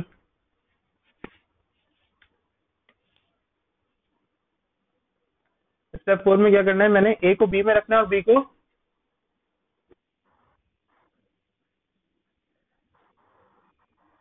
तो फिर अगर B equal to A equal to B कर दूँगा तो इन दोनों की वैल्यू तो किसी में भी नहीं रहेंगी। अगर ए की वैल्यू बी में चली जाएगी तो बी की वैल्यू क्या करेगी? फिर बी की वैल्यू ए में कैसे लेकर आऊँगा? समझ रहे हो बात को मेरी? है ना? तो हमें करने लेट से मैंने तीसरा वेरिएबल भी दे दिया। तो भाई तीसरे वेरिएबल के अंदर भी अगर वैल्यू लेकर आएँगे ना हम लोग तो वो भी ऐसे नहीं आ जाएगी कि बस मैंने कहा और वो वैल्यू आ गई। इसके लिए क्या करेंगे? देखो स्टेप फोर में क्या करो? लेट से मैंने सी लिया है ना सी अभी तक कुछ नहीं है, काम कर रहा। तो सी को बराबर कर दो, एक है। सी के अंदर कुछ पड़ा हुआ नहीं है वैसे भी। सी को एक बराबर कर दो। अब सी के अंदर क्या आ गया? सी के अंदर आ क्या गया है। इसका मतलब है अब ए को अगर मैं कुछ और भी असाइन कर दूँ तो मसला नहीं है। तो ए को मैं कह देता हूँ यार तुम आ जाओ बी के पास। हम्म? भाई ए के अंदर तो अब कुछ भी नहीं है ना। यानी ए के अंदर कुछ है भी तो मसला नहीं है क्योंकि ए की वैल्यू तो सी में जा चुकी है है ना? जा चुकी है। और अब ए के अंदर अगर मैं बी भी रख लूँगा तो कोई मसला नहीं होगा। ऐसा ही है? ठीक है? अब मुझे क्या करना है? ए को तो मैंने बी बी के बराबर कर दिया यानी ए के अंदर तो फाइव आ गया होगा। अब मुझे बी के अंदर क्या लेकर आना है? बी के अंदर क्या लेकर आना है मुझे? ए लेकर आ रहे हैं। और ए की वैल्यू कहाँ पड़ी हुई है अभी? एग्जैक्टली बी की वैल्यू कहाँ पड़ी हुई है? सी में। गुड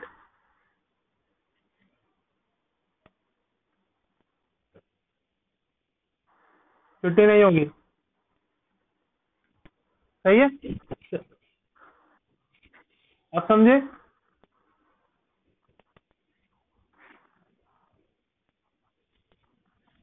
देखो, मैंने क्या कहा था? मैंने कहा था मुझे ए को बी में रखना है और बी को ए में रखना है।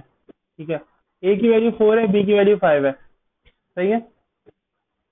अब एक, मैंने अच्छा एदम ने मुझसे कहा, सर, तीसरा वेरिएबल ले सकता है। मैंने कहा, लेना ना, मसला नहीं है।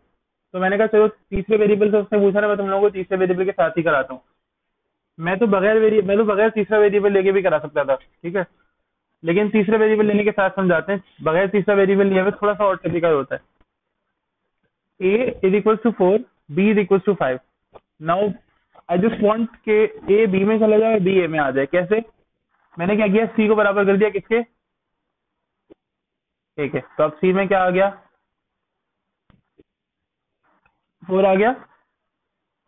अब ए का काम कुछ नहीं है, यानी a को अगर मैं किसी और वैल्यू को भी असाइन कर दूँगा ना, यानी फ़र्ज़ करो ए के अंदर मैं नई वैल्यू भी ले आऊँगा तो मुझे कोई प्रॉब्लम होगी या नहीं आएगी? नहीं आएगी। क्यों? क्योंकि मैंने ए की वैल्यू तो सी को दे दिया और सी बिल्कुल सेफ़ चल रहा है। ठीक है? मैंने क्या किया? ए को बराबर कर दिया किसके? ठीक है? तो अब ए के अंदर क्या आ गई? बी की वैल्यू आ गई। ए के अंदर फाइव आ गया। आधा टास्क हो गया। आधा टास्क हो गया। ठीक है। अब मुझे ए की वैल्यू बी में लेके जानी थी। तो ए की वैल्यू कहाँ पड़ी हुई थी? सी में। तो मैंने क्या किया? बी को बराबर कर दिया। ठीक है। तो बी के अंदर किसकी वैल्यू आ गई? सी के। इनडायरेक्टली बी के अंदर किसकी वैल्यू आ गई? ये है ना? बी की मैंने बी को मैंने सी के बराबर किया। इनडायरेक्टली सी के अंदर क्या पड़ा हुआ था? ए और ए क्या था? फोर तो बी ए फोर था ना पहले स्टार्टिंग में। अब बी क्या हो गया? फोर हो गया और ए क्या हो गया? फाइव हो गया। अब जब मैं इनको प्रिंट करूँगा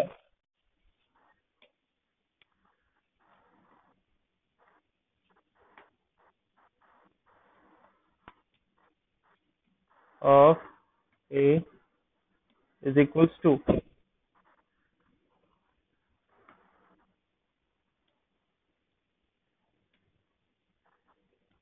A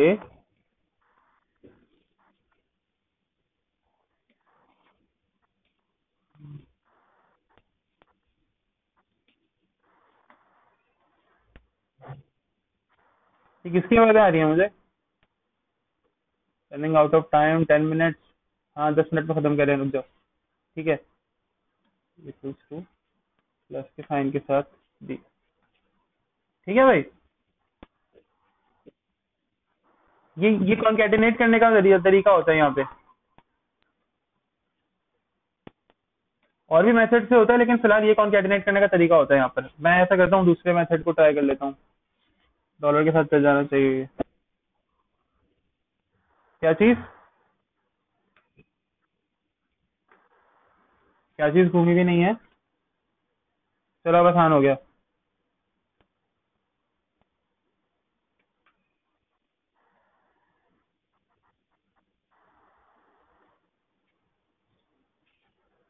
देखो, जहन को अगर खोलोगे ना तो समझ में आएगा।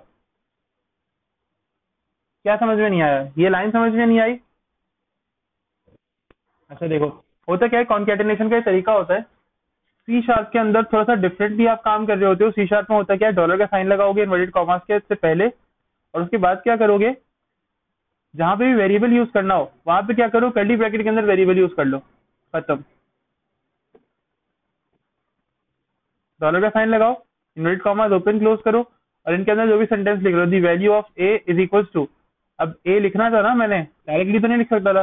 ठीक है, जैसे सी लैंग्वेज के अंदर परसेंटेज डी लिखते थे, यहाँ पर डायरेक्टली वेरिएबल का नाम लिख सकते हैं। बाद में लिखने की ज़रूरत नहीं पड़ती। ठीक है, और वैल्यू ऑफ़ बी मैंने बराबर कर दी बी के तो उसमें कंफ्यूजन कोई कंफ्यूजन है तो पूछ लो अभी भी। पक्का पूछ लो मसला नहीं है कोई। कंफ्यूजन है तो पूछ लो, कोई इश्यू नहीं है। ठीक है हाँ यार ये ज़रूरी है। अच्छा 2015 से पहले के डॉलर का साइन नहीं चलता था।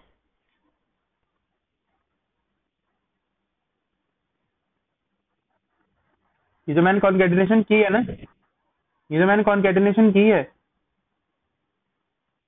ठीक है ये 2015 के विजुअल स्टूडियो से पहले के वर्जन के अंदर तुम लोगों को नहीं मिलेगी ठीक है? उसके आगे उससे जो आगे के वर्जन से सिर्फ़ उसमें मिलेगी लेकिन उससे पहले के वर्जन में ये काम तुम्हें नहीं आ, करने का मौका मिलेगा ठीक है? मसला यहाँ तक मसला यहाँ तक तो तुम लोग मुझे मॉड्यूलस वाला काम करके दिखा दो इवन और ऑट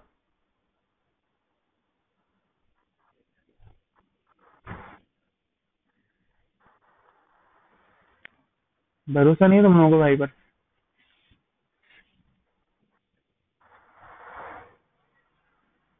ए की वैल्यू क्या थी और बी की वैल्यू क्या थी रुक जाओ।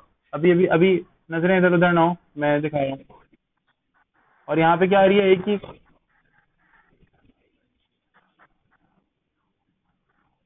नहीं नहीं, सर, मैं भरोसा नहीं नहीं, तुम लोग भरोसा नहीं करते यार मुझ पर भरोसा किया करो।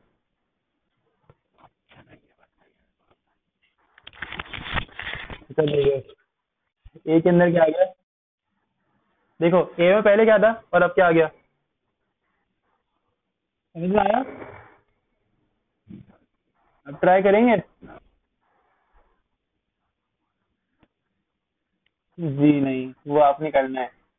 अगली क्लास तक का टास्क ये है कि आपने बगैर तीसरा वेरिएबल लिए, दो वेरिएबल्स के अंदर ही आपने ये काम मुझे करके दिखाना है। कोशिश नहीं करेंगे। मैं भी असाइनमेंट दे रहा हूँ। नेक्स्ट क्लास का असाइनमेंट वही है, ठीक है? अगली क्लास के अंदर आप लोगों ने काम करके मुझे दिखाना है लाजमी। हमने कंडीशनल ऑपरेटर या लॉजिकल ऑपरेटर लास्ट कवर नहीं किए क्योंकि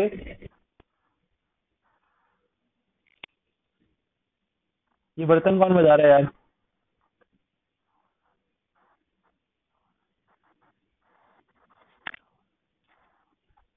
अच्छा मेरी बात सुन लो। सब लोग पहले मेरी बात सुनना। सब लोग पहले एक, एक बात सुनना। करना यह है कि नेक्स्ट क्लास के अंदर नेक्स्ट क्लास से पहले पहले यानी कल रात तक कल शाम तक मैं भी असाइनमेंट गूगल क्लासरूम पे असाइन कर रहा हूँ। वहाँ पे लेट असाइनमेंट के अंदर मैं नंबर कट करूँगा। अगर टाइम के अंदर तुम लोगों ने सबमिट करवा दिया ठीक है तो बेस्ट है। टाइम के बाद सबमिट मत करवाना ठीक है? एक आज शाम चार बजे और दूसरा कल शाम पाँच बजे। जी, दूसरा वाला ये है। तुम्हें करना यह है ए की वैल्यू ऐसे ही बी में रखनी है और बी की वैल्यू ए में रखनी है without taking the third variable third variable लिए बगैर, ठीक है? ठीक है। चलो देखते हैं लेट्स सी ठीक है? विजुअल स्टूडियो नेक्स्ट क्लास में जिसके पास नहीं होगा, वो अपना नुकसान खुद करेगा, क्योंकि अब आगे की जो चीज़ें होंगी ना, मैं उसके अंदर तुम लोगों के साथ काम कर रहा हूँ तो तुम लोगों को इन्वॉल्व करना पड़ेगा। अगर तुम लोगों के पास नहीं होगा विजुअल स्टूडियो तुम लोग बहुत प्रॉब्लम में आ जाओगे। ठीक है, क्योंकि आगे मुझे विंडोज़ फॉर्म और कंसोल साथ लेके चलनी है। तुम लोग प्रॉब्लम में आ जाओगे। बोलो।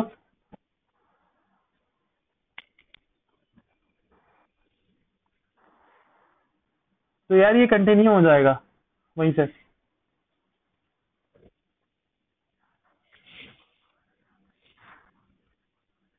आज शाम चार बजे तक तुम्हें करना है इवन और ऑड नंबर वाला। जो इवन और ऑड नंबर वाला दिया था ना आपने पता करना है कि whether the number is even और ऑड वो वाला करना है आज शाम तक चार बजे तक। जी, बिल्कुल। और जो ये दूसरा वाला जो टास्क है, ये तुमने करना है कल तक, यानी कल शाम पाँच बजे तक। ए की वैल्यू बी में बी की वैल्यू ए में।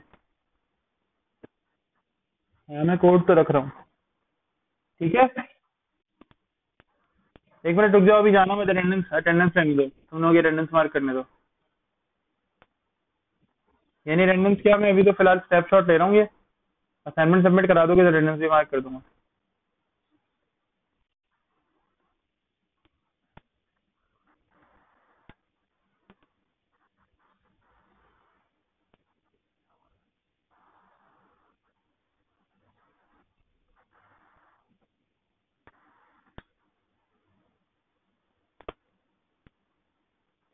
एक, दो, तीन, चार आठ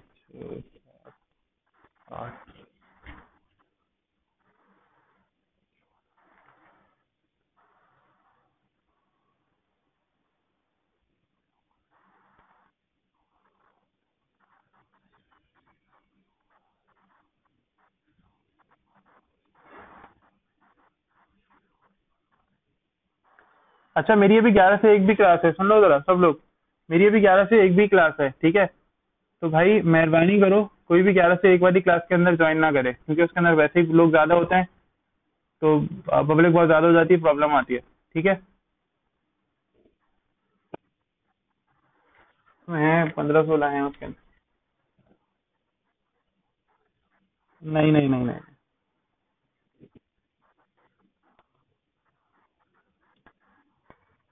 यही बोल रहा था इसको तो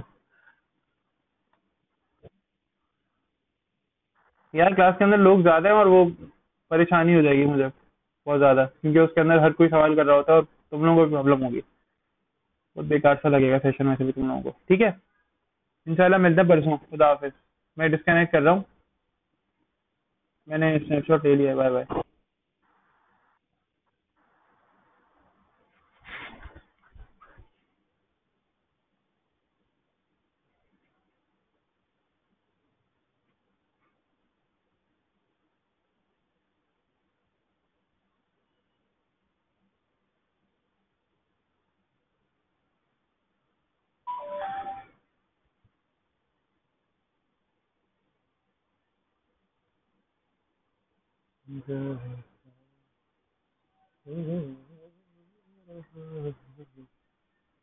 खुदा को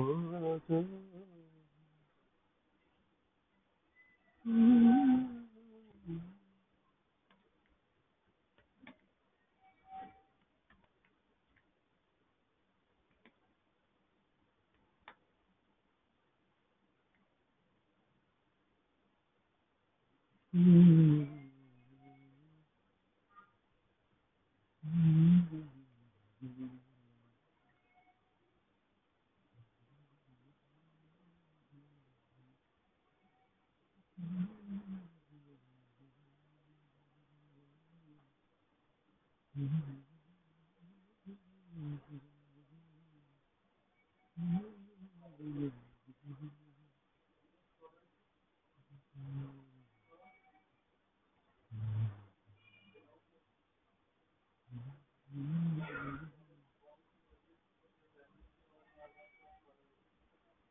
Mm-hmm.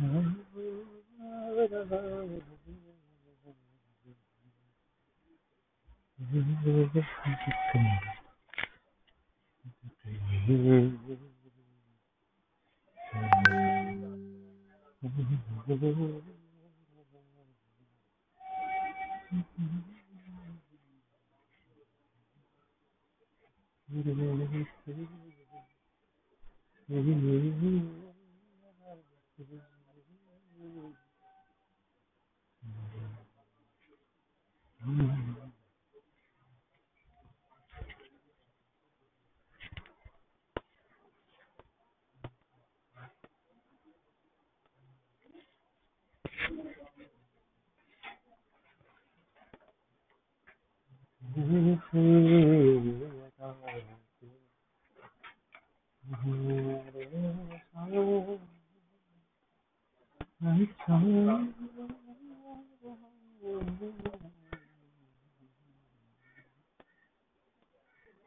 साधन ग्यारह बजने वाले हैं।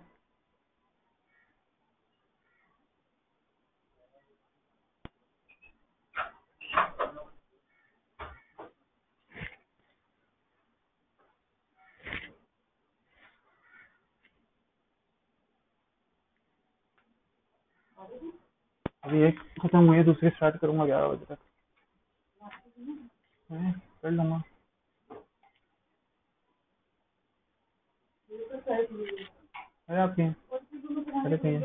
ओके ओके नहीं नहीं मूड जिम ही कर रहा हूँ वाकई में चाह ही कर मैं आपसे कह दूँगा। अरे मुझे तीन ही आपसे कह दूँगा मतलब अरे नहीं मैं स्टार्ट कर रहा हूँ। अम्मी स्टार्ट कर रहा हूँ नहीं करूँगा वाकई में। लेता है, इधर थोड़ी देर में। अम्मी नहीं दिल नहीं चाह रहा।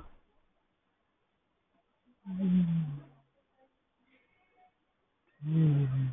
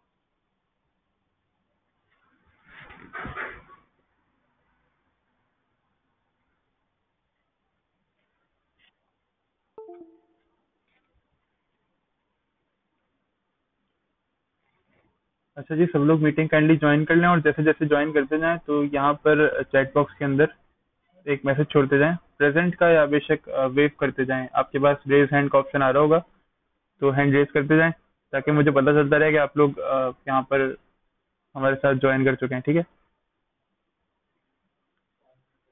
बेशक मुझे आवाज़ यानी अपनी आवाज़ से भी बता सकते हैं कोई इशू नहीं है क्योंकि मैं एक, एक दो और काम कर रहा हूँ। तो हम बस मैं दो तीन मिनट के अंदर फ्री होऊँगा फिर हम स्टार्ट कर लेते हैं ठीक है? और कल रात में काफ़ी लोगों ने मुझे श्योर कराया कि वो लोग आज लाजमी होंगे। तो स्ट्रेंथ जो है वो आज मुझे उम्मीद है कि अच्छी होगी रात रात से ठीक है? फ़िलहाल मैं भी अपना माइक तकरीबन दो से तीन मिनट के लिए ऑफ़ कर रहा हूँ। तो आप लोग आ जाओ कोई मसला नहीं है मैं ऑनलाइन हूँ मैं सिस्टम पे ही अपने मौजूद हूँ ठीक है? इसलिए मेरे माइक ऑफ़ होगा तो आप लोगों को मेरी तरफ़ से कोई आवाज़ नहीं आ रही होगी। और अगर मुझे किसी की आवाज़ आएगी तो अगर हो सका मैं रिप्लाई भी कर दूँगा ठीक है?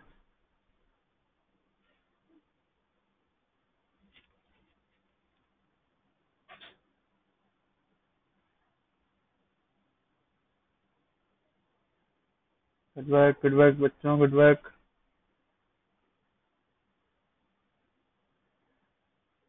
Yeah,